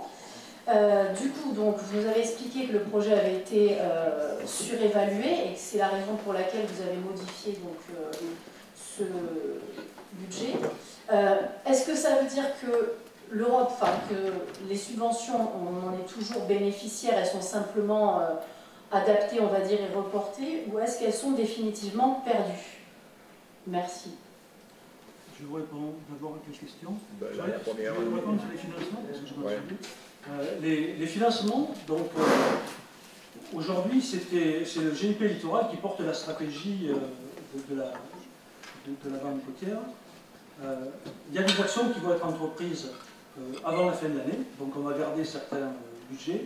Le reste va être redéfini à partir de, en début d'année, il y aura une autre, une autre à ce sujet. Donc pour l'instant, ne peux pas trop vous dire si... il y a quand même des sommes qui sont affectées à ça, donc elles seront reconduites, mais elles seront certainement réajustées en fonction de, eh de, l'expérience qu'il y a eu euh, sur d'autres communes également. Donc, c'est tout ce que je peux vous en dire pour l'instant. Et la deuxième chose, donc hein la deuxième. Euh, Qu'est-ce que c'était l'autre question concernée la. Ah Madame la trésorière, euh, si vous voulez, moi je n'ai pas approfondi ce sujet, puisque la trésorière nous a demandé de le réaliser. Euh, moi, personnellement, je ne vais pas poser la question. Si vous voulez, on pourra le faire avec notre directrice des finances, hein, mais euh, je n'ai pas approfondi cette question.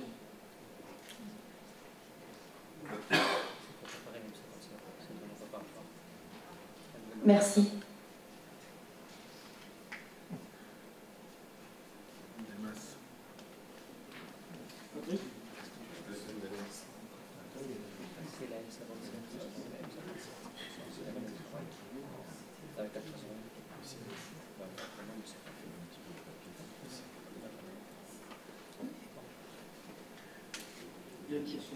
Qu'est-ce qu'il y a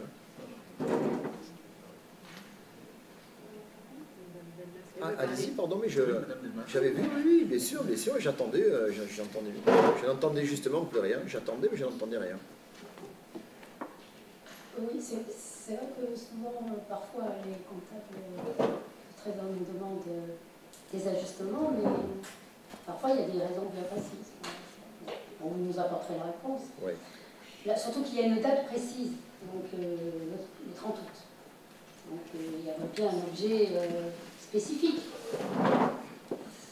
Concernant l'épuration du compte 1069 demandé par, par la trésorière, maintenant écoutez, je n'ai pas les chiffres, je vous les communiquerai lors du prochain conseil. Une autre, question, euh, merci pour cette présentation au niveau de la stratégie locale. C'est vrai que c'est quand même euh, mené depuis de longues dates avec différents partenaires publics, euh, c'est très long, très lourd, mais très très important pour la défense des, personnes et des biens. Je comprends les réajustements euh, liés au retard qui apparemment ne nous est pas imputable. Euh, mais puisque de toute façon il faut poursuivre, euh, pourquoi des annulations et pas des reports? Pour, le, toujours. Pour les, les mouvements. Pour le, pour le à caractère général? Non, attendez, pour, euh, c'était pourquoi pour la, stratégie, pour la stratégie locale. Pour la stratégie locale. Écoutez, euh, moi je, je me fais, j'ai essayé de faire un résumé de la stratégie locale. Maintenant, notre, notre adjoint à l'urbanisme qui est responsable de la stratégie locale vous apportera les renseignements. C'est surtout que les dépenses n'ont pas été engagées. Oui. Oui, mais euh, euh, il y en a certaines qui ont été engagées. Oui, il y en a certaines. Ça va être poursuivi, pourquoi pas de- plutôt un report annulation Non, mais là, si vous voulez, là, là, pour le budget, euh, pour l'ADM et pour le budget 2021, on est obligé de rajouter ça. D'accord On est obligé. Puisqu'il n'y aura pas les dépenses ni les recettes.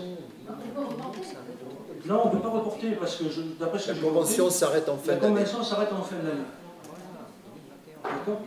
Oui, donc euh, on est très interrogatif donc, sur le point des subventions, la, la convention s'arrête en fin d'année. Absolument, mais les, les financements restent, enfin les financements FEDER, région et État restent quand même, puisque c'est une stratégie long terme, parce que ça s'appelle quand même GIP Littoral 2030. quand même. Oui, oui, je sais bien, ça fait des années que c'est. Mais euh, merci de bien vouloir nous communiquer euh, les calendriers futurs. Eh euh, écoutez, Mais là, ce que je peux vous dire, c'est que... là, on va, être, on, va être, on va être dans une réunion, une réunion préparatoire. Alors- Oui, il va y avoir une réunion préparatoire pour ce qui va se passer pour 2022. Il y, a, il y a- il y a eu une réunion préparatoire la semaine dernière. Mais c'est juste pour reprendre contact, pour évaluer ce qui a été fait, ce qui n'a été pas fait, qu'est-ce qu'on peut engager d'ici la fin de l'année. Donc euh, pour l'instant, on ne peut pas vous en dire plus. hein. D'accord. Et le dernier point, Ça, vous- ça, vous le saviez en posant la question, vous aviez le Je saviez. voudrais répondre concernant la, la, la trésorière d'Arcachon. En fait, je vous l'ai dit tout à l'heure, c'est pour préparer, euh, c'est un apurement du déficit du compte de gestion 1069 pour le passage au référentiel budgétaire et comptable M57. Donc voilà pourquoi la trésorière nous a demandé ça.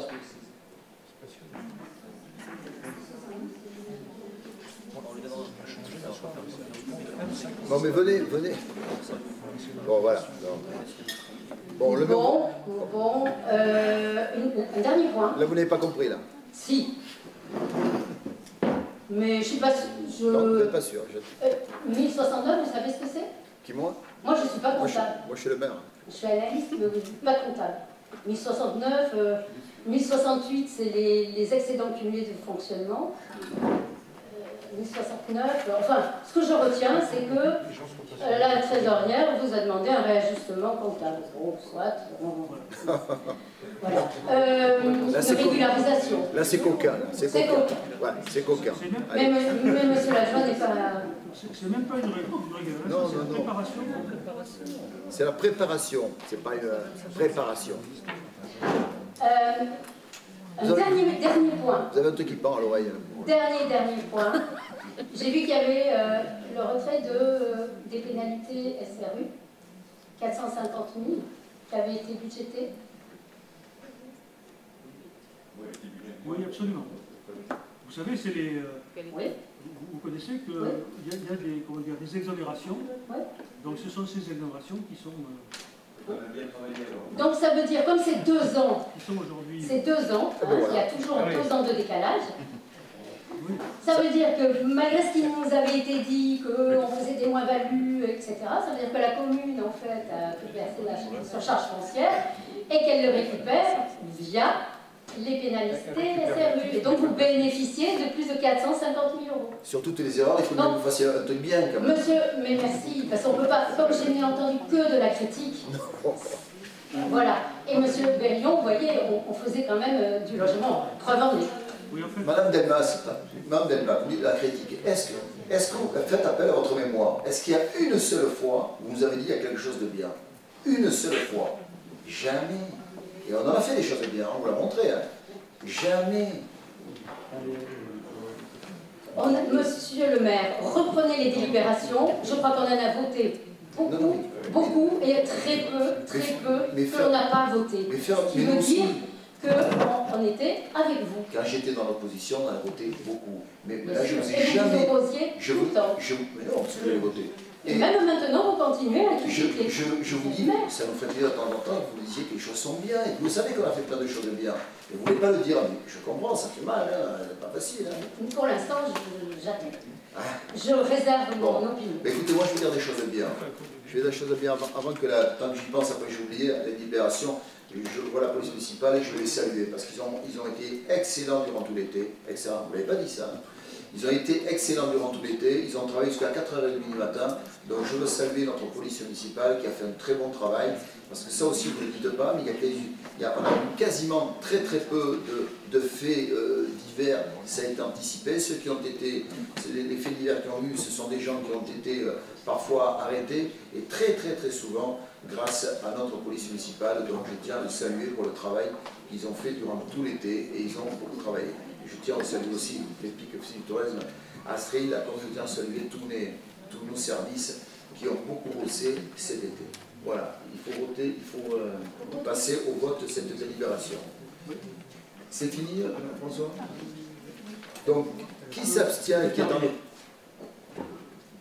Qui s'abstient, qui s'y oppose Personne? Eh bien voilà. Donc maintenant, comment? Ah bon? Tu sais pas Vous savez pas, pardon Donc là c'est méchant, hein. là c'est vraiment de la politique. Hein. Ouais. C'est la politique. Bon, c'est pas grave. Euh, alors, il y en a combien qui s'abstiennent là? 1, 2, 3, 4, 5, 6. Ok. Euh, donc là, nous avons, si je ne me trompe pas, terminé le conseil. Valentin Dey s'avait donné pour cette dernière délibération pouvoir à Alexandra Pamiès, parce qu'il a dû s'absenter. Donc nous avons terminé le, toutes les délibérations, je vous en remercie. Restent les décisions. Y a-t-il des choses à voir dans les décisions? Oui. Oui.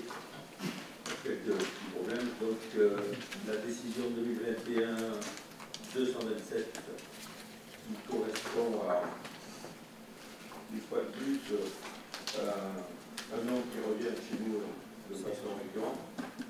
Et il doit y avoir un seul cabinet avocat associé à Bordeaux, dans la région. Ce cabinet, il y a quelques années, dépendait des propriétaires en litige pour des couples afro-usagères contre la ville de la Teste.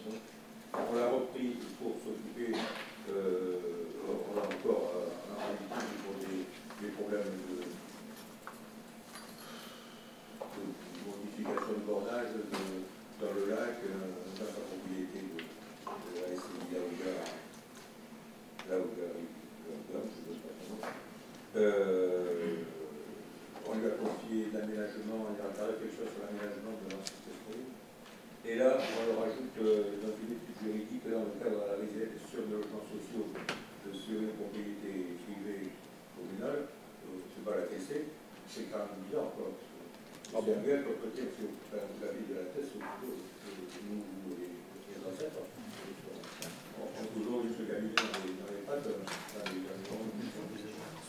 nous, on choisit en fonction. J'entends, j'entends, mais. Là, c'est parce que vous, c'est parce que vous l'aimez pas, donc je comprends. Mais, euh, mais euh, on choisit en fonction des compétences. Voilà. Moi, je suis pas avocat. On choisit en fonction des compétences. si s'ils avaient pris, euh, si, un bon avocat avait été pris pour l'hôtel de ville, on ne serait pas où on en est. Mais, euh, et, pour la salle cravée, pareil. Allez, la suivante. Il y en a une autre? C'est marrant, je l'avais mis, j'avais posté sur ça. Euh, disons que l'assistance au recrutement, vous en parlez? Non, c'est pour savoir. 228. 228, monsieur le maire. Concernant l'assistance au recrutement, c'est ça? Attendez, attendez, c'est pas 228. C'est mieux, voilà, parce que je ne pouvais pas l'avoir.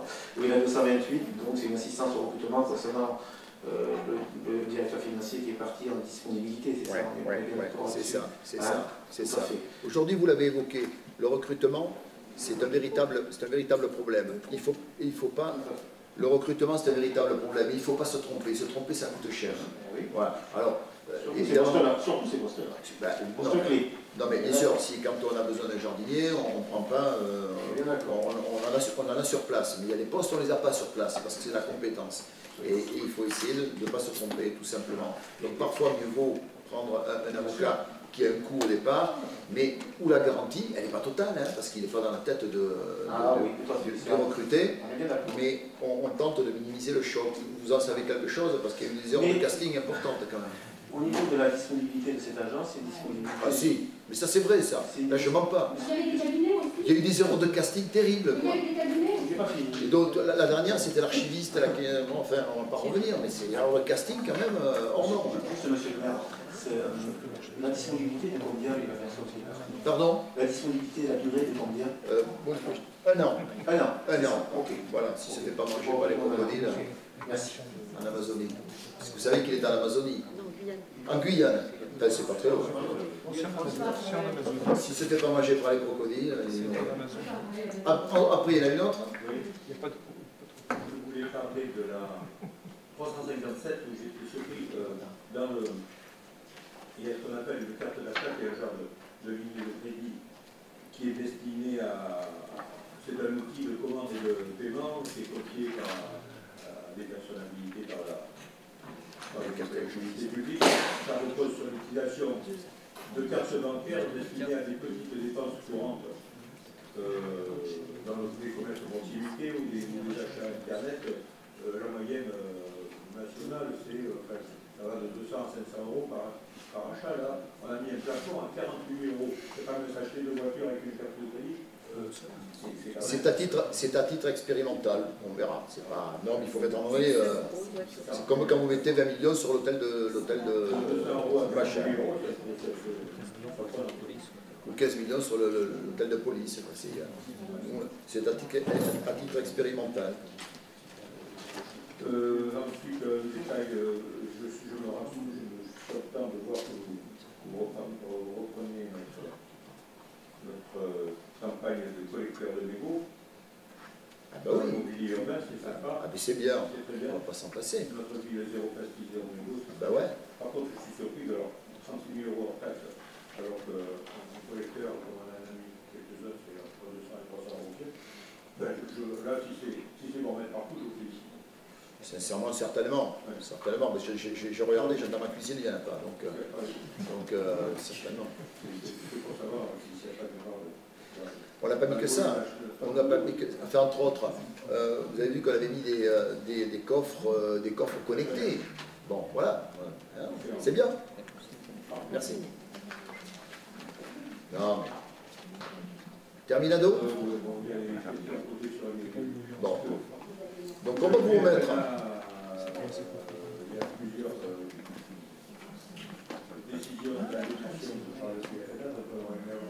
a Bon, ben, non, venez les demander. euh, on-. Non, non, euh, Non, mais c'est pour conclure ça. En décision hors, hors délibération, c'est c'est des grosses, c'est des grosses affaires, et ça ne pas soulever. Non, mais-. Faites une demande écrite et on répond, puisque c'est gros, c'est ça, c'est une demande écrite, et puis on va, on va répondre, c'est aussi simple que ça. Quoi. Mais en c'est- Ben, faites une demande écrite et on répondra. Ok? Bon, donc vous allez, vous allez récupérer donc, ce, ce mag. On va vous euh, remettre. Donc vous voyez, dans les, dans les dates, les, les prochains, le prochain conseil, c'est le, c'est le 18 novembre. Et à 15h. Hein. Faut pas changer, change pas qui gagne.